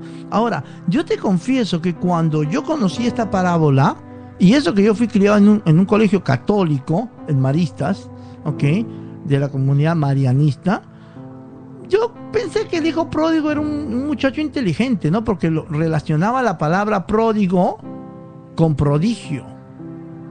Y no es lo mismo prodigio es alguien que tiene un talento, una actitud, wow, que se, manifiesta a temprana edad. Dice, es un prodigio, ¿no? Es un prodigio en el piano. Es un prodigio en las matemáticas. Pero acá la palabra no es prodigio, señores, lea bien. Es la parábola del hijo pródigo.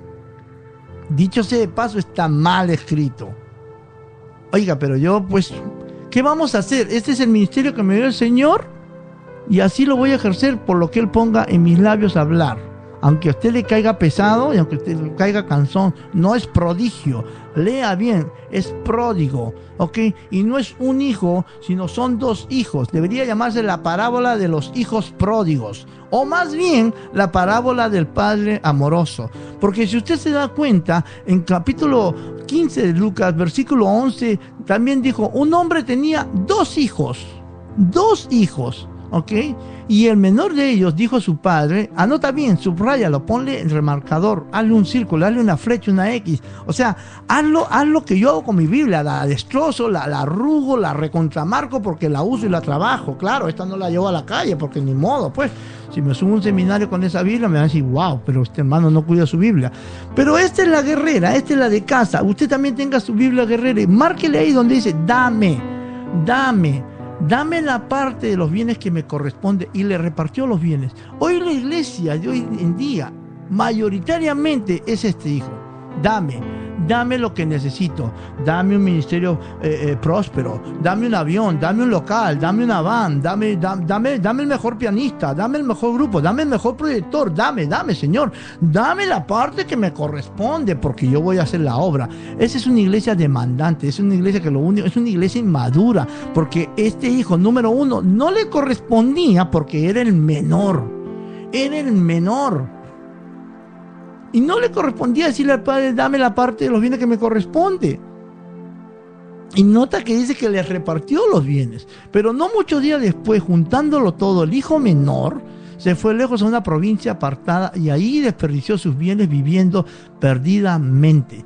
Y cuando todo lo hubo malgastado, vino una gran hambre en aquella provincia y comenzó a faltarle.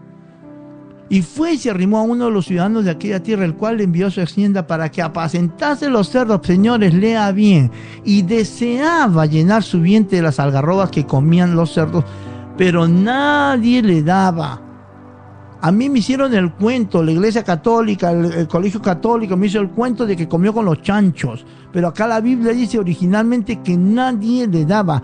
No, o sea, ni la comía los chanchos comió. Cuando tú llegas a ese punto, hermano, es que, es, que ese es el punto en que hay que llegar, porque a veces, mira, nosotros preguntamos, pero ¿dónde está Dios? ¿Pero dónde estaba Dios? No, te voy a decir una cosa, Dios estaba mirando. Dios estaba mirando, porque en todo lo que tú hagas en tu vida, te voy a decir una cosa, lo hagas bien o lo hagas mal, Dios está mirando. Y te voy a decir algo más, Dios no está comprometido a aplaudir tus buenas obras, ¿ok? Dios no está comprometido a tirarte flores dice bien claro que nadie les daba. Cuando uno llega a ese momento, en realidad, que toca la piscina y te das cuenta, "Mm, mm, estoy mal. Estoy mal porque estoy, número uno, me estoy malgastando. Siento de que no hay producción. Y, estoy que predico, estoy que hablo, estoy que grito, estoy que canto. y no hay, no hay resultado. Y, pro- y inventamos todos los métodos posibles para lograr y no logramos nada. Y llegamos a los más bajos niveles no quiero continuar, ahí nomás lo dejo. Llegamos a esos más bajos niveles, pero ahí cuando recién nos damos cuenta, como este hijo pródigo, pródigo, en el versículo 17 dice, ¿cuántos jornaleros en casa de mi padre tienen abundancia de pan y yo aquí perezco de hambre? O sea, ni siquiera estaba produciendo, ni siquiera estaba trabajando, ni siquiera tenía ingresos, perecía de hambre me levantaré, mire el versículo 18, e iré a mi padre. Hoy es el día que tú te puedes levantar y decir, padre, me equivoqué, he estado mal, fíjate, hoy, hoy me he dado cuenta de estas cosas, no las sabía, y le diré, padre, he pecado contra el cielo y contra ti.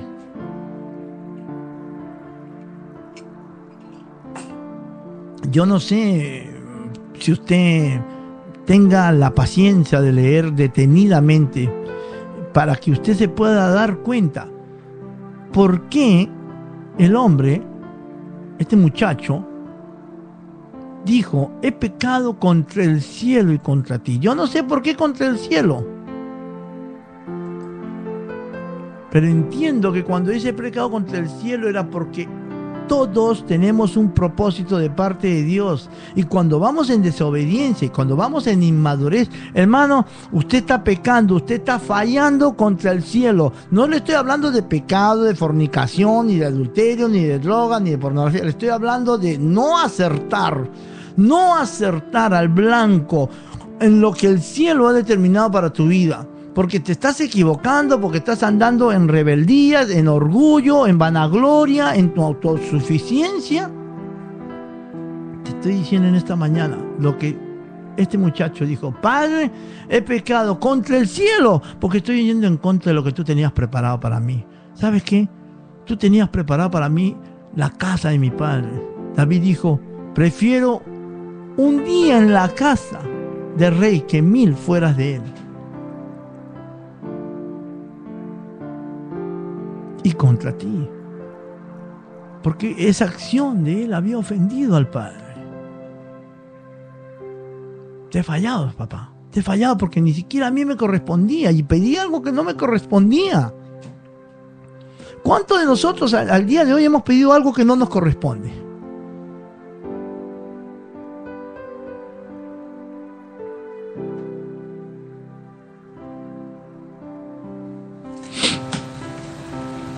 Versículo 19 dice, ya no soy digno de ser llamado tu hijo. Ahora subraya esta palabra, póngale un círculo, póngale una marca. Hazme, hazme como a uno de tus jornaleros. Tu actitud de madurez va a ser reflejada cuando dejes de usar la palabra dame, es que a mí me corresponde, es que me habían dicho a mí, es que yo soy aquí, eh, eh, qué sé yo, el diácono, el, el diablócono, y no sé, llámate como quieras, yo soy el líder, es que yo soy el ministro, es que yo soy el ungido. No, no, no, no, no, no. Deja de decir dame y dile al Padre, hazme, ¿ok? Díleselo al Señor, hazme. Y dice que levantándose vino a su padre y aun cuando estaba lejos lo vio su padre y fue movido a misericordia corrió y se echó sobre su cuello y le besó. Y le besó. Es una actitud positiva, hermano, la que tuvo este muchacho. Una buena reacción. Por supuesto que sí. Entonces fíjate, volviendo a 1 Reyes capítulo 19, versículo 20, dice que Eliseo dejando en los bueyes vino corriendo en pos de Elías y dijo, te ruego que me dejes besar a mi padre y a mi madre. El problema es que si vemos en el Antiguo Testamento, vamos a encontrar la respuesta de, Elías que le dice, ve, vuelve, ¿qué te he hecho yo? O sea, ve. Si quieres, ve. No hay problema.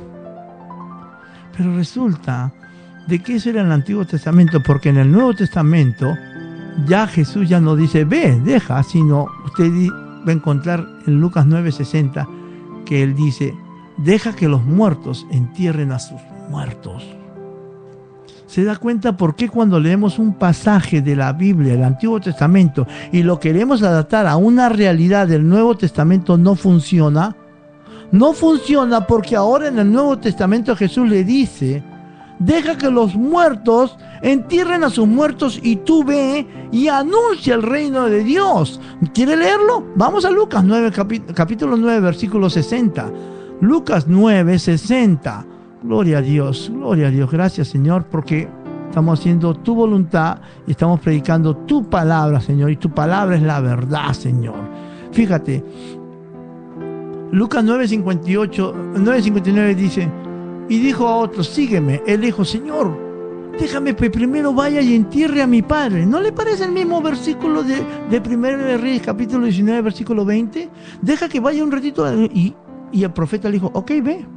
Pero resulta que aquí, en Lucas 9:60, Jesús le dijo, deja que los muertos entierren a sus muertos y tú ve y anuncia el reino.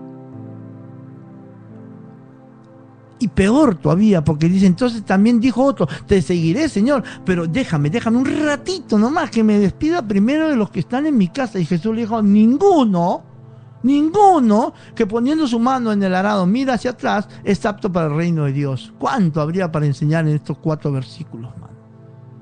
Sacaríamos un estudio de estos cuatro versículos y sobre todo para mi querido cuñado Edgardo que le encanta este versículo. Ninguno que poniendo su mano en el arado mira hacia atrás es apto para el reino de Dios, dice.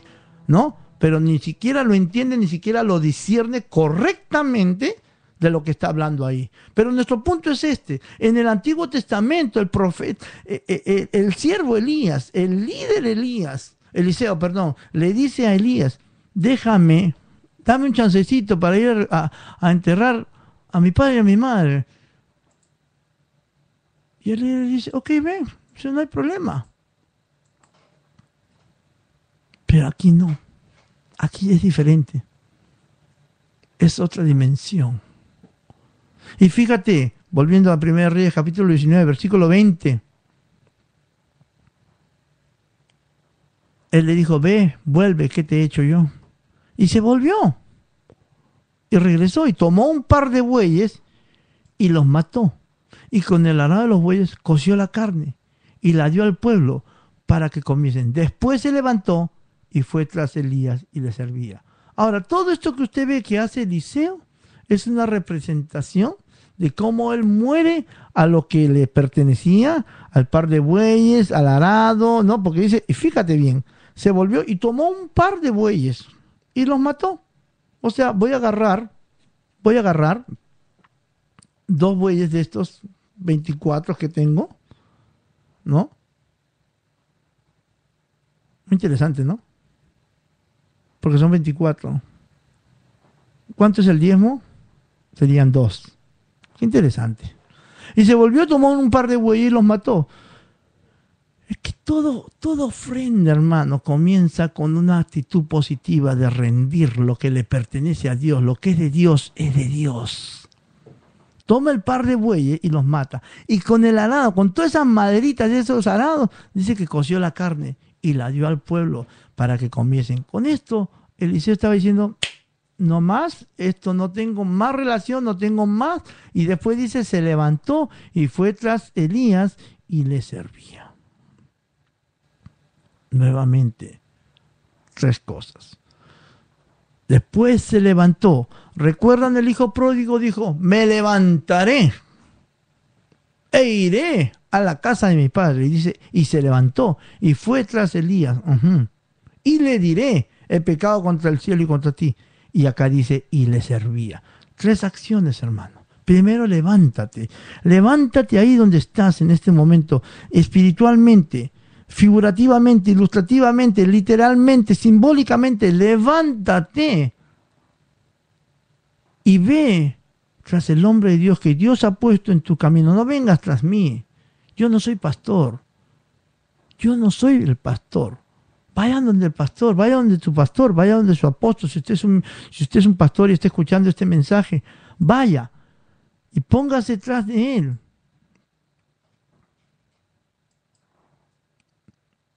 Y sírvale. Porque lo que vemos que hizo Eliseo aquí en este, en este Antiguo Testamento, en Primera de Reyes, capítulo 19, versículo 21, tres acciones. Primero se levanta, dos, va tras el hombre de Dios y tres, le sirve.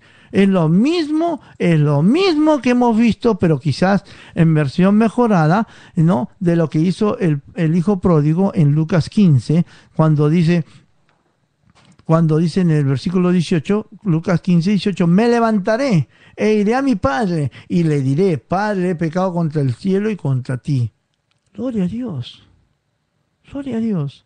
Hermano, madurez espiritual no es cuánto tú sabes mucho de la Biblia. Madurez espiritual es cuánto de eso que tú sabes, de eso que el Señor te mostró, de eso que te ha enseñado durante todos estos años, cuánto tú lo pones por obra. ¿Cuánto? Eso es lo que te va a marcar la diferencia. Eso es lo que va a marcar verdaderamente la diferencia. Así que sea lo que sea, hermano, no te rindas. Sigue adelante, prosigue al blanco hacia la meta de supremo llamamiento. No te rindas. Sigue adelante en el nombre de Jesús. Te lo dice el ministro Manuel Márquez a esta hora. En el nombre de Jesús.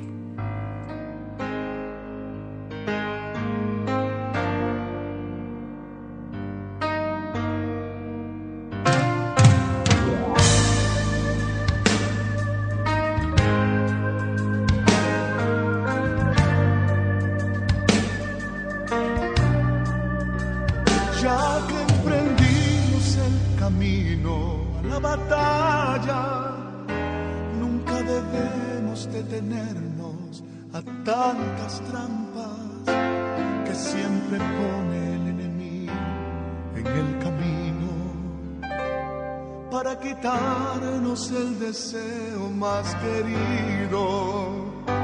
Hay que tener gran valentía y sentimientos y un corazón lleno de amor, lleno de paz para decir se pierde, que solo Dios les puede dar lo que hoy no tienen. Hay tanta gente que se pierde sin saber que hay una fuente de esperanza y nueva vida que fue encarnada para morir por sus pecados en una cruz donde allí fue crucificado. Allí murió por ti, por mí, frente a aquel pueblo que le injuriaba y le castigaba sin piedad. Y por sus labios transitaron unas palabras que fueron muestra de su amor y gran amor.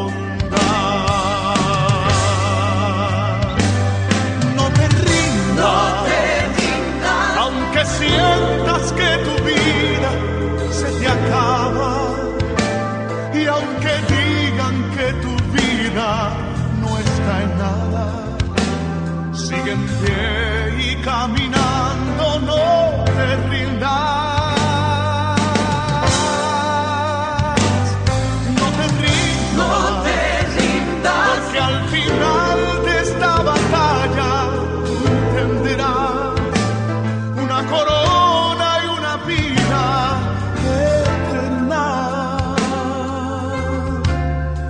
siempre, jamás. Sigue adelante caminando, sigue en pos, con paso firme caminando sin temor, que aunque adelante habrán tropiezos alrededor. Pon tu confianza en las manos del Señor los momentos de dolor te sostendrá, te ayudará si te sientes desmayar y si tu camino oscuro está, y estará y con su luz te alumbrará, te alumbrará. No te rindas, no te rindas. aunque sientas que se te acaba y aunque digan que tu vida no está en nada, sigue en pie y caminando, no te rindas.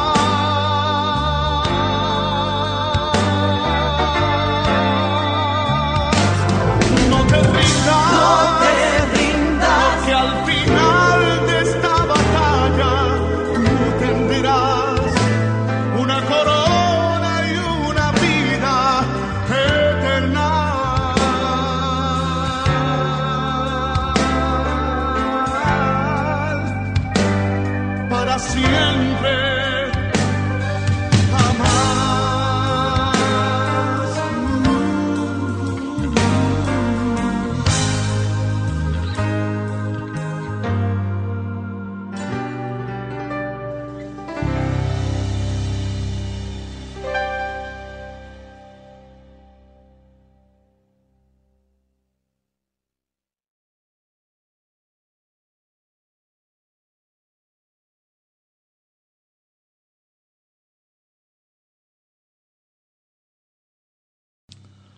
Son las 11 de la mañana con 51 minutos. Estamos avanzando el día de hoy eh, aquí en tu programa Palabra, Música y Noticias por MRHTV.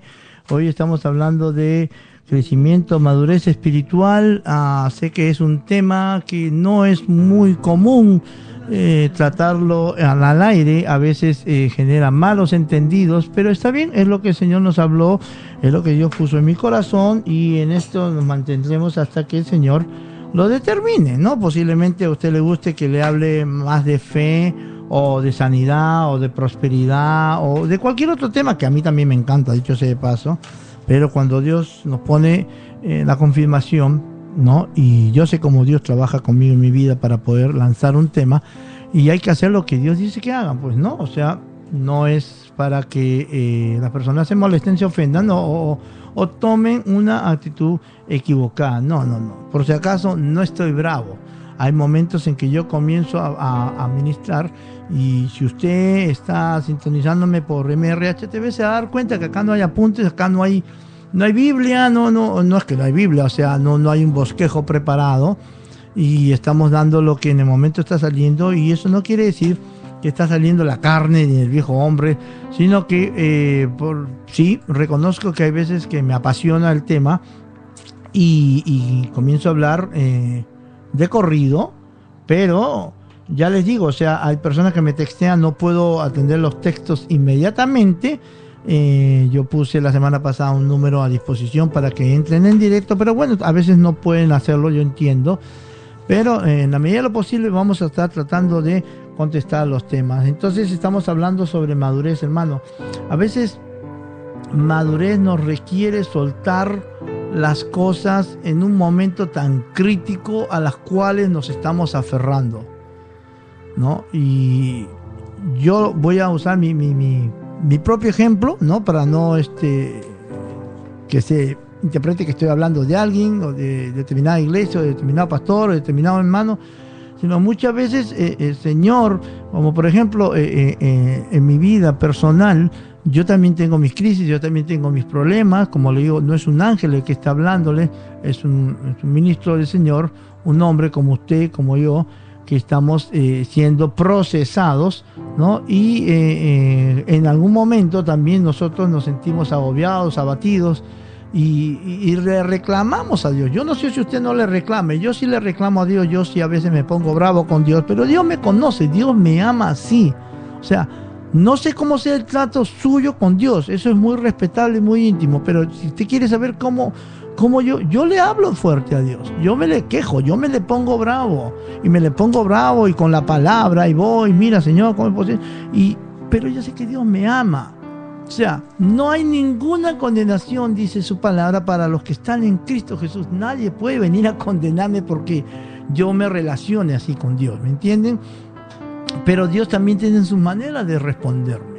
Y a veces yo tengo que decir, wow, me equivoqué, tiene razón, I'm sorry, Señor, no, me puse bravo y todo. Está bien, pero eso es en la vida personal, íntima, de mis cosas, de mis eh, aflicciones, de, lo que a veces mi, vista natural ve y, mi vista espiritual se ciega y no llega a ver determinados puntos. De todas maneras, eh, al final del día nos ponemos a cuenta con Dios y pues hablamos la palabra, eh, declaramos lo que su Biblia dice, ¿no? Y gloria al Señor. Entonces ahí vamos avanzando. Entonces esto me hace recordar, ¿no? Que muchas veces nosotros nos aferramos a cosas y, cuando Dios nos dice suelta eso, y, no, a veces no queremos soltarlo. No queremos soltarlo porque pensamos que de ahí estoy yo agarrado, de ahí viene mi provisión, de ahí viene mi fuente. ¿Y cuánto nos equivocamos? Y a es, yo voy a ese punto. Yo voy al punto en que tú, tú, tú, te agarras de lo que tú crees que es de Dios, de lo que tú crees que Dios te ha dicho. Pero cuando tú lo llevas al filtro de la palabra, te das cuenta que no, no fue así, te equivocaste, aprende, entiende, te equivocaste, no fue así. O sea, no hay, el problema no es equivocarse, el problema es no corregirse del error. ¿Me entiende? Entonces, muchas veces eh, eh, no maduramos porque no, número uno, no aceptamos el error, no aceptamos la corrección. Y número tres, lo más importante, no queremos o no tenemos una actitud de restauración, de poder mejorarlo. Bien claro dice su palabra, ninguna disciplina, ninguna llamada de atención es motivo de gozo pero da fruto de paz a quien se somete. Entonces, aquí vamos a aclarar los conceptos y no estamos hablando específicamente de ninguna situación. Cuando yo cito la palabra de Dios, cuando yo cito la palabra de Dios en cuanto a la Biblia, eso sí, de lo que yo, el Señor me ha mostrado y que haya que corregir, lo voy a corregir. Si veo una canción donde mi hermano, si usted quiere seguir cantando, mi socorro viene del Señor, de los montes, Vive en esa dimensión. Yo no le voy a decir más nada más que la corrección. Si usted se quiere hacer más vil por culpa del nombre de Jehová, hágase más vil. Hasta donde yo sé, yo no soy vil. Yo soy la justicia de Dios. ¿Me entiende? eso es vivir en una madurez de acuerdo a lo que la palabra de Dios dice. Yo me muevo, yo actúo. Pero si usted quiere vivir en el Antiguo Testamento con ejemplos y prédicas y mensajes de todo el Antiguo Testamento, hermano, hágalo. Yo mismo también uso el Antiguo Testamento, pero no vamos a sacar un texto fuera de contexto, sino vamos a enseñar claramente qué es lo que está pasando, ¿ok? Así que hago la aclaración porque acá el ministerio, ministerio Rema es, está para enseñar, está para, para educar al pueblo para corregir, ¿no? Para redarguir, a fin de que el hombre de Dios sea enteramente preparado para toda buena obra, dice. ¿Ok? No para decir, mira, yo me sé, yo me sé el arameo, yo me sé el hebreo. No, no, no, no, de, eso no estamos hablando. O sea, si, si, lo estás tomando por ese lado, de eso no estamos hablando. ¿Ok? Estamos hablando claramente de lo que es el crecimiento en las cosas de Dios. Y cuando digo no hay que soltar, muchas veces, hermano, nos quedamos allí por no soltar lo que debemos de soltar. Es como me hace recordar el ejemplo de este hombre que cayó de un precipicio y al, y al coger, eh, durante su caída, se agarró de una rama y al final quedó colgado esa rama en plena noche, hasta que la rama lo, dejó ahí ¿no? pendiendo ahí en, en las alturas. Y y este hombre clamó, Dios mío, Dios mío, ayúdame, sí, Señor, por favor, ahora sí, yo creo, tú eres el único que me puede saltar, salvar de esta situación, Padre, por favor, ¿verdad? Y en eso una voz del cielo dice, ¿tú crees que yo puedo salvarte en esta situación? Sí, Señor, por favor, dime qué tengo que hacer y yo lo voy a hacer. ¿Seguro? Sí, seguro, Señor, no, no. Ok, suelta la rama. Y en el silencio de la noche dijo, no, ¿cómo se te ocurre que voy a soltar? Si yo suelto la rama me voy a para abajo, ¡pum! me voy a estrellar. No, ya que estoy bien agarradito. Bueno, hermano, no quiso soltar la rama. Al amanecer del siguiente día, los rescatistas llegaron hasta su lugar y lo vieron tendido en el suelo, con las manos así como apretando algo y la rama a un metro de distancia del, suelo. O sea, se murió tontamente. Porque si Jesús te dice suelta la rama, es porque hay piso seguro para caer.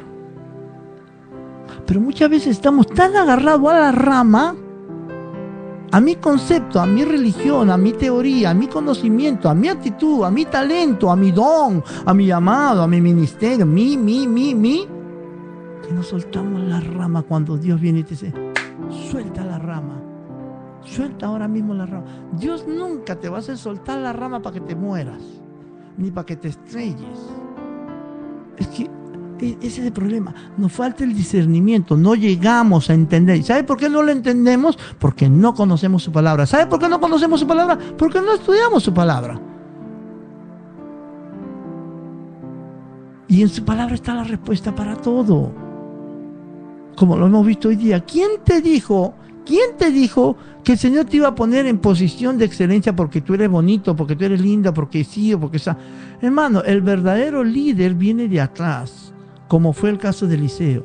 El verdadero líder trabaja y va a ver todos los errores y va a ver todas las tonterías que la gente hace en los liderazgos. Yo lo he visto, al, paso de todos estos años lo he visto.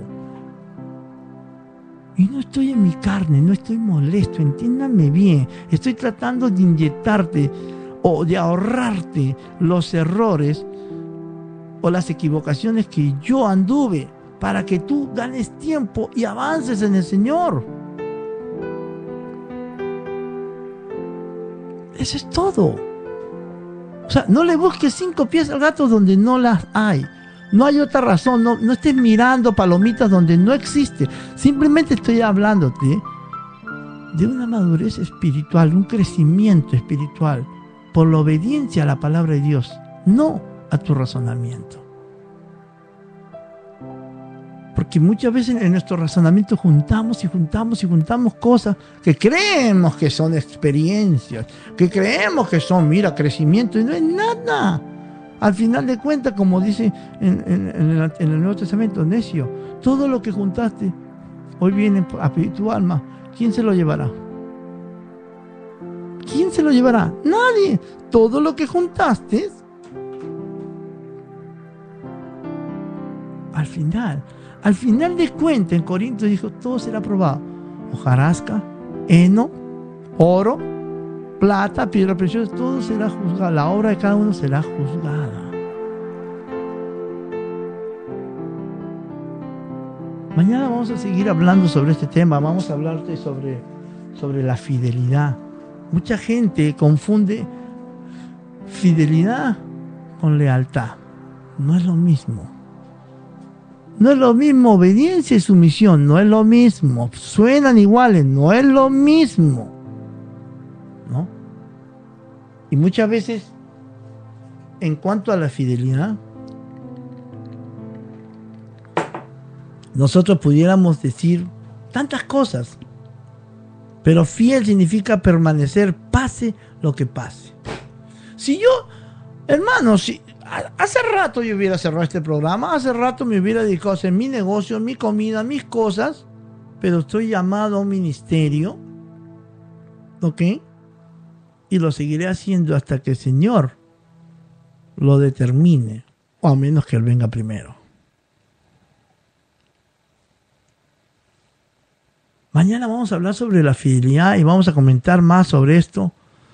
Sé que mucha gente está ahí, sé que algunos están en hora de refrigerio, algunos están ya listos para salir, pero solamente quiero decirte, te amo en el amor del Señor, les amamos en el amor del Señor y queremos lo mejor para ustedes. Por esa razón estamos trayéndote esta palabra, no porque, oh, déjame ver, ¿qué hablo hoy día? ¿De qué he hecho mano de todas mis prédicas que tengo? No, no, no, no, no, no, no. Yo no vivo así. Yo vivo de acuerdo a lo que Dios pone en mi corazón a hablar. Posiblemente mañana, en vez de la fidelidad, el Señor me diga, bueno, vamos a ir por este lado. Ok, iremos por ese lado. Pero no es para que digo, ay, qué decepción, yo pensé que iba a hablar de otro tema. Bueno, yo nunca anuncio el tema a menos que sea que ya Dios me lo ha puesto en mi corazón. Y no soy profeta, y no soy vidente, y no soy mm, ni soñador, ni de esas cosas. yo sé guiarme, yo sé cómo Dios me habla a mí. Posiblemente no, Dios no me habla a mí como te hable a ti, a ti pueda que te hable con voz audible, te confieso. A mí no me habla con voz audible, a mí me habla de otra manera diferente, pero yo sé, que sé, que sé, cuando Dios me dice que hable de algo, porque sabe que yo veo los frutos. Cuando se cierran estos micrófonos, cuando esta cámara se apaga, este chat se comienza a llenar de comentarios, de aprobaciones, de textos, de agradecimientos, de obras, de, de buenas acciones, como lo estamos haciendo con nuestro hermano José Miguel y con su esposa Josie, y, de buenas conexiones, como lo estamos haciendo con nuestra hermana Sara, y, alcanzando las naciones, como estamos llegando hasta Manchester, estamos llegando hasta Colombia, estamos llegando a Costa Rica, México, ¿me entiendes? Y yo sé que sé que sé que es la palabra que Dios quiere que se comparta. Posiblemente hoy no fue tu día de la palabra, posiblemente tú eh, te incomodaste por este tema lo siento, hermano, hermana, lo siento. Pero esto es lo que Dios trajo a mi corazón. Así que vamos a, continuar en los minutos que nos quedan y luego vamos a orar. Y si tú tienes alguna petición de oración, pues ese es el momento en que tienes que llamarme, escribirme y decirme, hermano Manuel, ¿puedo orar por esto? Necesito esta, esta oración. Ah, yo tengo acá dos peticiones ya que me han hecho llegar y estaremos nos uniendo en, estos pedidos de, de, oración. ¿Ok? No te vayas de la sintonía, esta es Palabra, Música y Noticias por MRHTV.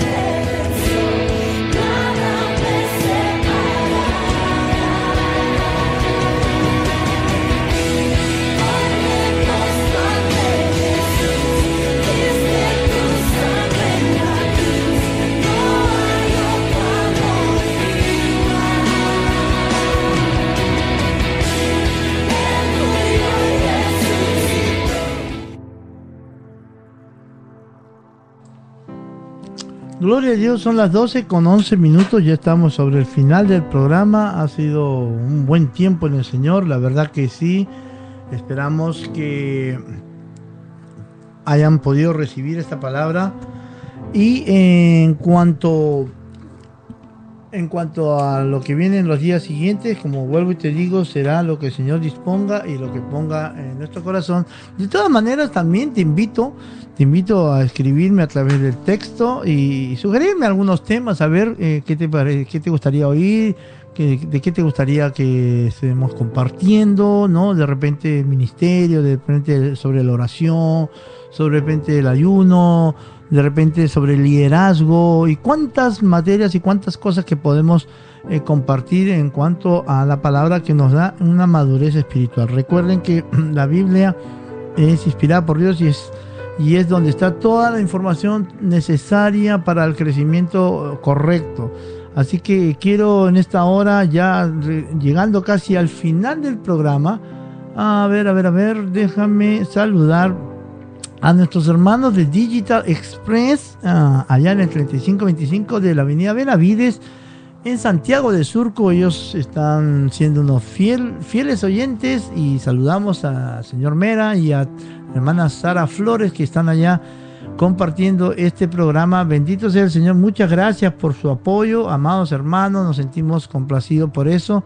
Y también queremos saludar. Hoy tenemos dos cumpleaños, dos personas de la sintonía a nuestra hermana mm, María Pomalaza allá en Lima, Perú, eh, quien está de cumpleaños y bueno, que ella está un poquito malita de salud y más que nada salud espiritual, ¿no? Está un poquito decaída, está un poquito uh, down, como decimos, estresada y pues esperamos María que en este día te pueda hacer sentir muy bien o por lo menos mucho mejor de lo que te has estado sintiendo en los días pasados.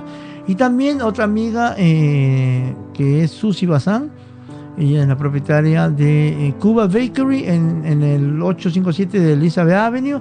Una dulce experiencia aquí en Elizabeth Cuba Bakery, ¿no? En Elizabeth, New Jersey. Ya tú sabes, eh, Susi, te deseamos un feliz cumpleaños, que lo pases muy lindo. Sé que has tomado el día, espero que mañana vuelvas pronto y nos podamos encontrar en la mañana a la hora del café. Saludamos a todos nuestros hermanos que están en la fiel sintonía, eh, sobre todo nuestros hermanos de Lima, Perú, les decimos que aquí ya cambió la hora, avanzó una hora más, o sea que aquí ya son las 12 con 14, en Lima deben de ser las 11 con 14, tenemos una hora más adelantada que ustedes, de manera de que tienes que tomar esa en cuenta eso, Sarita, para que no te pierdas el programa, ¿ok? Con toda la gente hermosa de Digital Express en el 3525 de la Avenida Benavides en Santiago de Surco, uno de nuestros patrocinadores y fieles oyentes allá en Lima, Perú. También saludamos a la gente de Puerto Rico, allá en la fonda de Guillermina, allá en Golden Hall, El Dorado, especialmente a la familia Rodríguez Casanova, que nos están sintonizando lo mismo que a la familia Melgarejo en Manchester, Inglaterra, Inglaterra, que también están en la fiel sintonía. Bueno, hermanos, el tiempo ha avanzado, tenemos que salir a unos compromisos, pero no queremos irnos sin eh, orar por ti, orar por alguna necesidad. Déjame ver si entró algo por acá. Bueno, no, nada por acá. Y en el Facebook tampoco, no hay petición de oración. Vamos a ver en el texto si alguien... Eh,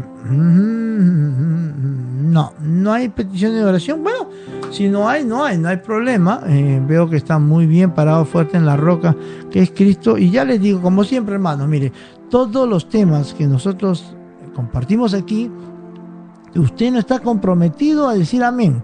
Vaya la palabra de Dios, confróntelo con la palabra de Dios. Y si hay algo que no está de acuerdo a la palabra de Dios, pues te invito. Mira, así como Fabián dio el paso de valentía y vino y vino el día viernes estuvo aquí compartiendo su testimonio, bueno, parte de su testimonio y estuvo compartiendo en la mesa de trabajo, pues yo te invito al 471 de la Irvington Avenue, si tú estás cerca aquí en Elizabeth, tú me dejas saber qué día quieres venir, acá hay micrófono, acá hay mesa, acá hay lugar para dialogar, charlar nunca vamos a estar peleando porque la, la, palabra de Dios no se hizo para pelear. Si usted quiere venir acá a pelear con la palabra, se equivocó. Porque aparte le voy a decir algo y voy a sonar jactancioso. Va a salir perdiendo, hermano, porque para que usted pelee conmigo con la palabra de Dios, tendría que, porque usted es un erudito, ¿no? Porque imagínese, yo por lo general no me meto en peleas, sino más bien Prefiero invertir mi tiempo escuchando hombres y mujeres de Dios con ministerios afirmados, con ministerios que no importa si tienen cinco mil o diez mil o mil, pero eh, sé que son ministerios que, que, imparten buena palabra, buena revelación y pues de ahí vamos creciendo. Así que la palabra de Dios no se hizo para discusión, fíjese, sino para edificación, para exhortación y para consolación. Esos son los tres elementos que debe llevar la palabra de Dios. Pero si usted gusta, puede venir a visitarnos, encantado de la vida, encantado de la vida. Ah, bueno, Bertita nos... Mm, bueno, nos comparte 2 Reyes capítulo 3 versículo 8, dice, y dijo, ¿por qué camino iremos? Y él respondió, por el camino del desierto de Don. Bueno, pues te invito, Berta, para que vengas a predicar ese tema, porque si me vas a tirar un versículo y queda la mitad. vamos, vamos, tírame el versículo completo y la explicación. Gloria a Dios. Pero saludamos a nuestra hermana Berta y a toda esa iglesia que está allá, la hermana Juanita, Daima, Maite, esa gente linda cubana que estamos conociendo y que se está, añadiendo a la congregación. Y en cuanto a la congregación, aviso para la iglesia local de Comunidad Cristiana Yo en mi casa servimos a Jehová en el 506 de la Cranford Avenue. Estamos ahí. Recuerden que mañana es la noche de expositores hay tres personas, digo personas para que no saquen su cuenta, que les toca eh, traer el tema. El compromiso es que no tienen que decirle a nadie que son ellos los que les toca eh, compartir el tema. Así que si por ahí alguien ya sabe que le toca a esa persona, entonces ya fallaste porque cuando Dios te da un encargo y te dice no digas nada, Jesús muchas veces decía, vayan y no digan nada. Entonces yo estoy ya tomando en cuenta cuán serio es ese compromiso. Cuando voy y le digo no digan nada, es que no digan nada. Así que vamos a ver si se sabe o no se sabe quiénes son los o las expositoras del día de mañana. Mañana a las 7 con 10 minutos estaremos eh, transmitiéndolo en vivo y en directo y estaremos, lo estaremos grabando para que ustedes vean a las personas que les va a tocar pues este subir ahí y durante 20 minutos exponer, no enseñar, no predicar, no evangelizar, sino exponer un tema. Por eso se llama Noche de Expositores. Eso será dentro de nuestra escuela bíblica a los pies del maestro que todos los martes a las 7 de la noche le invitamos. Si usted está cerca y no tiene dónde eh, congregar o dónde recibir una palabra, véngase 506 Cranford Avenue en Linden, New Jersey, bien cerquita aquí del Guarinango, entre la St. George y la Elizabeth Avenue en Linden. ¿Ok? Y nuestro servicio los días domingo a las 7, a las 7, a las 11 de la mañana, 11 y 10 comenzamos en punto. Y este domingo tuvimos casa llena y siempre por ahí siempre salen faltando algunas personas, pero yo digo, va a llegar el día en que nadie, o sea, nos vamos a poner todos de acuerdo en ir y ahí sí que vamos a tener un buen problema porque ya no vamos a entrar todos a la misma vez. Y eso será, como decía mi apóstol William Flores, un buen problema porque sabían que en la iglesia podemos tener buenos problemas, ¿no? O sea, un buen problema es que ya no hay más parqueos. Un buen problema es que ya no hay más sillas. Un buen problema es que ya no alcanzamos. Esos problemas, de eso yo quiero. De esos yo quiero. Un buen problema sería de que Oye, la escuela bíblica queda corta y la gente está que llama y pide más clases. Eso es un buen problema. Esos me gustan. De eso estamos esperando. Así que ya tú sabes, si no tienes dónde congregarte, 506 de la Cranford Avenue en Linden, New Jersey, estamos ahí listos para poder eh, recibirte con todo el amor de Dios y poder eh, enlazarnos ¿no? Eh, en, en, en amistad y en hermandad. Por otra parte, eh, recuerden, iglesia local, el viernes hay oración a las 7 de la noche. El sábado, este sábado, este sábado 16 de febrero, las mujeres en la mañana tienen su desayuno a las ocho y media en la iglesia, un desayuno muy lindo, que pasan un buen tiempo las damas, pasen la voz, hermanas de la iglesia, bienvenidas todas a a la iglesia a desayunar y los caballeros tendremos nuestra reunión a las 7 con 30 minutos también en la iglesia, pero en la parte de abajo, en el basement. Ahí vamos a estar compartiendo no solamente la palabra, sino también algunas cositas ricas. Hablando de cositas ricas, hermano, mañana no falte a la, escuela bíblica porque nuestro hermano John nos va a compartir unos alimentos muy buenos. Así que vamos a, hacer, vamos a estar en una noche muy, muy, muy bendecido. Bueno, el tiempo avanzó, se pasó volando. Eh, sorry con excuse me, pero ya es tiempo de irnos. Y vamos a orar, vamos a orar para despedirnos en el nombre de Jesús. Padre, te damos la gloria y la honra. Gracias, Señor, por este tiempo. Ha sido bueno estar compartiendo tu palabra. Tu palabra es verdad, Señor. Y yo declaro que esta semilla cae en corazones, pero en algunos dará el 30, en otros el 60 y en otros el 100 por uno. Declaro, Señor, que son corazones buenos, con tierra fértil, abundante, que recibe esa semilla incorruptible de la palabra de Dios y avanzan, Señor. En el nombre de Jesús bendecimos la vida de María Pomalaza y de Susi Bazán. Gracias por el año de vida que le estás brindando a, mis hermanas. Gracias también, Señor, por la fiel sintonía de todos nuestros hermanos, especialmente allá en Perú, en Lima, Perú, la gente de Digital Express que están trabajando y que están escuchando fielmente la sintonía. Bendecimos a Fabián Berta, Juanita, Daima, Maite, Joan, Diana, eh, Ilse, Johnny y todos los que han estado conectados en cualquier parte del mundo. Te bendecimos, te decimos que el Señor te bendiga siempre, siempre, siempre. Y este es el ministro Manuel que se despide de ti con un hasta mañana. No, no te pierdas la, emisión de Palabra, Música y Noticias el día de mañana. Y estaremos también eh, en la noche en la noche eh, sacando uh, en vivo, trataremos de sacarlo en vivo, eh, la, clase de la noche de exposiciones de, de, los expositores, perdón, de la escuela bíblica. Así que ya lo sabes, eh, te vemos, o mejor dicho, nos vemos y nos oímos, sí, porque nos estamos viendo por MRHTV, a nuestros amigos de MRHTV, muchas gracias por sintonizarnos y entonces conmigo será hasta el día mañana. Bendiciones.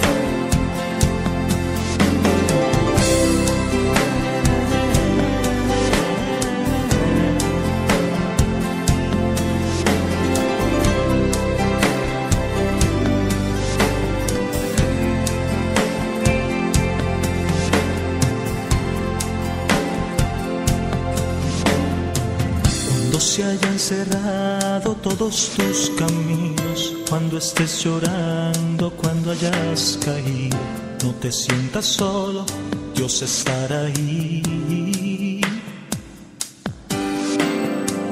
Cuando el castillo azul se haya desvanecido, junto con tus sueños, junto con tus fríos, no te sientas solo, Dios estará ahí.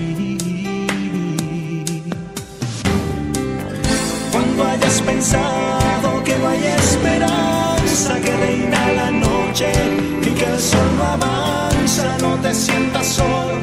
Dios te dice así,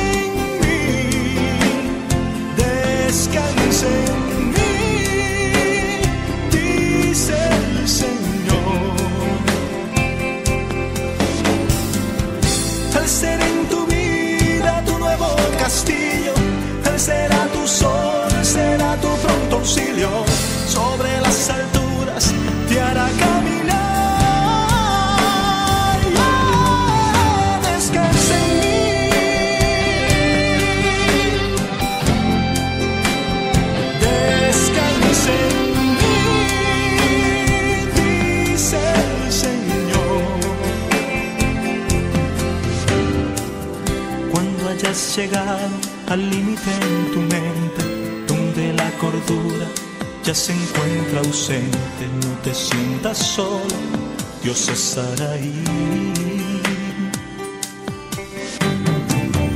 Cuando los recuerdos de algún ser querido, en vez de alegrarte, te hayan deprimido, no te sientas solo, Dios estará ahí.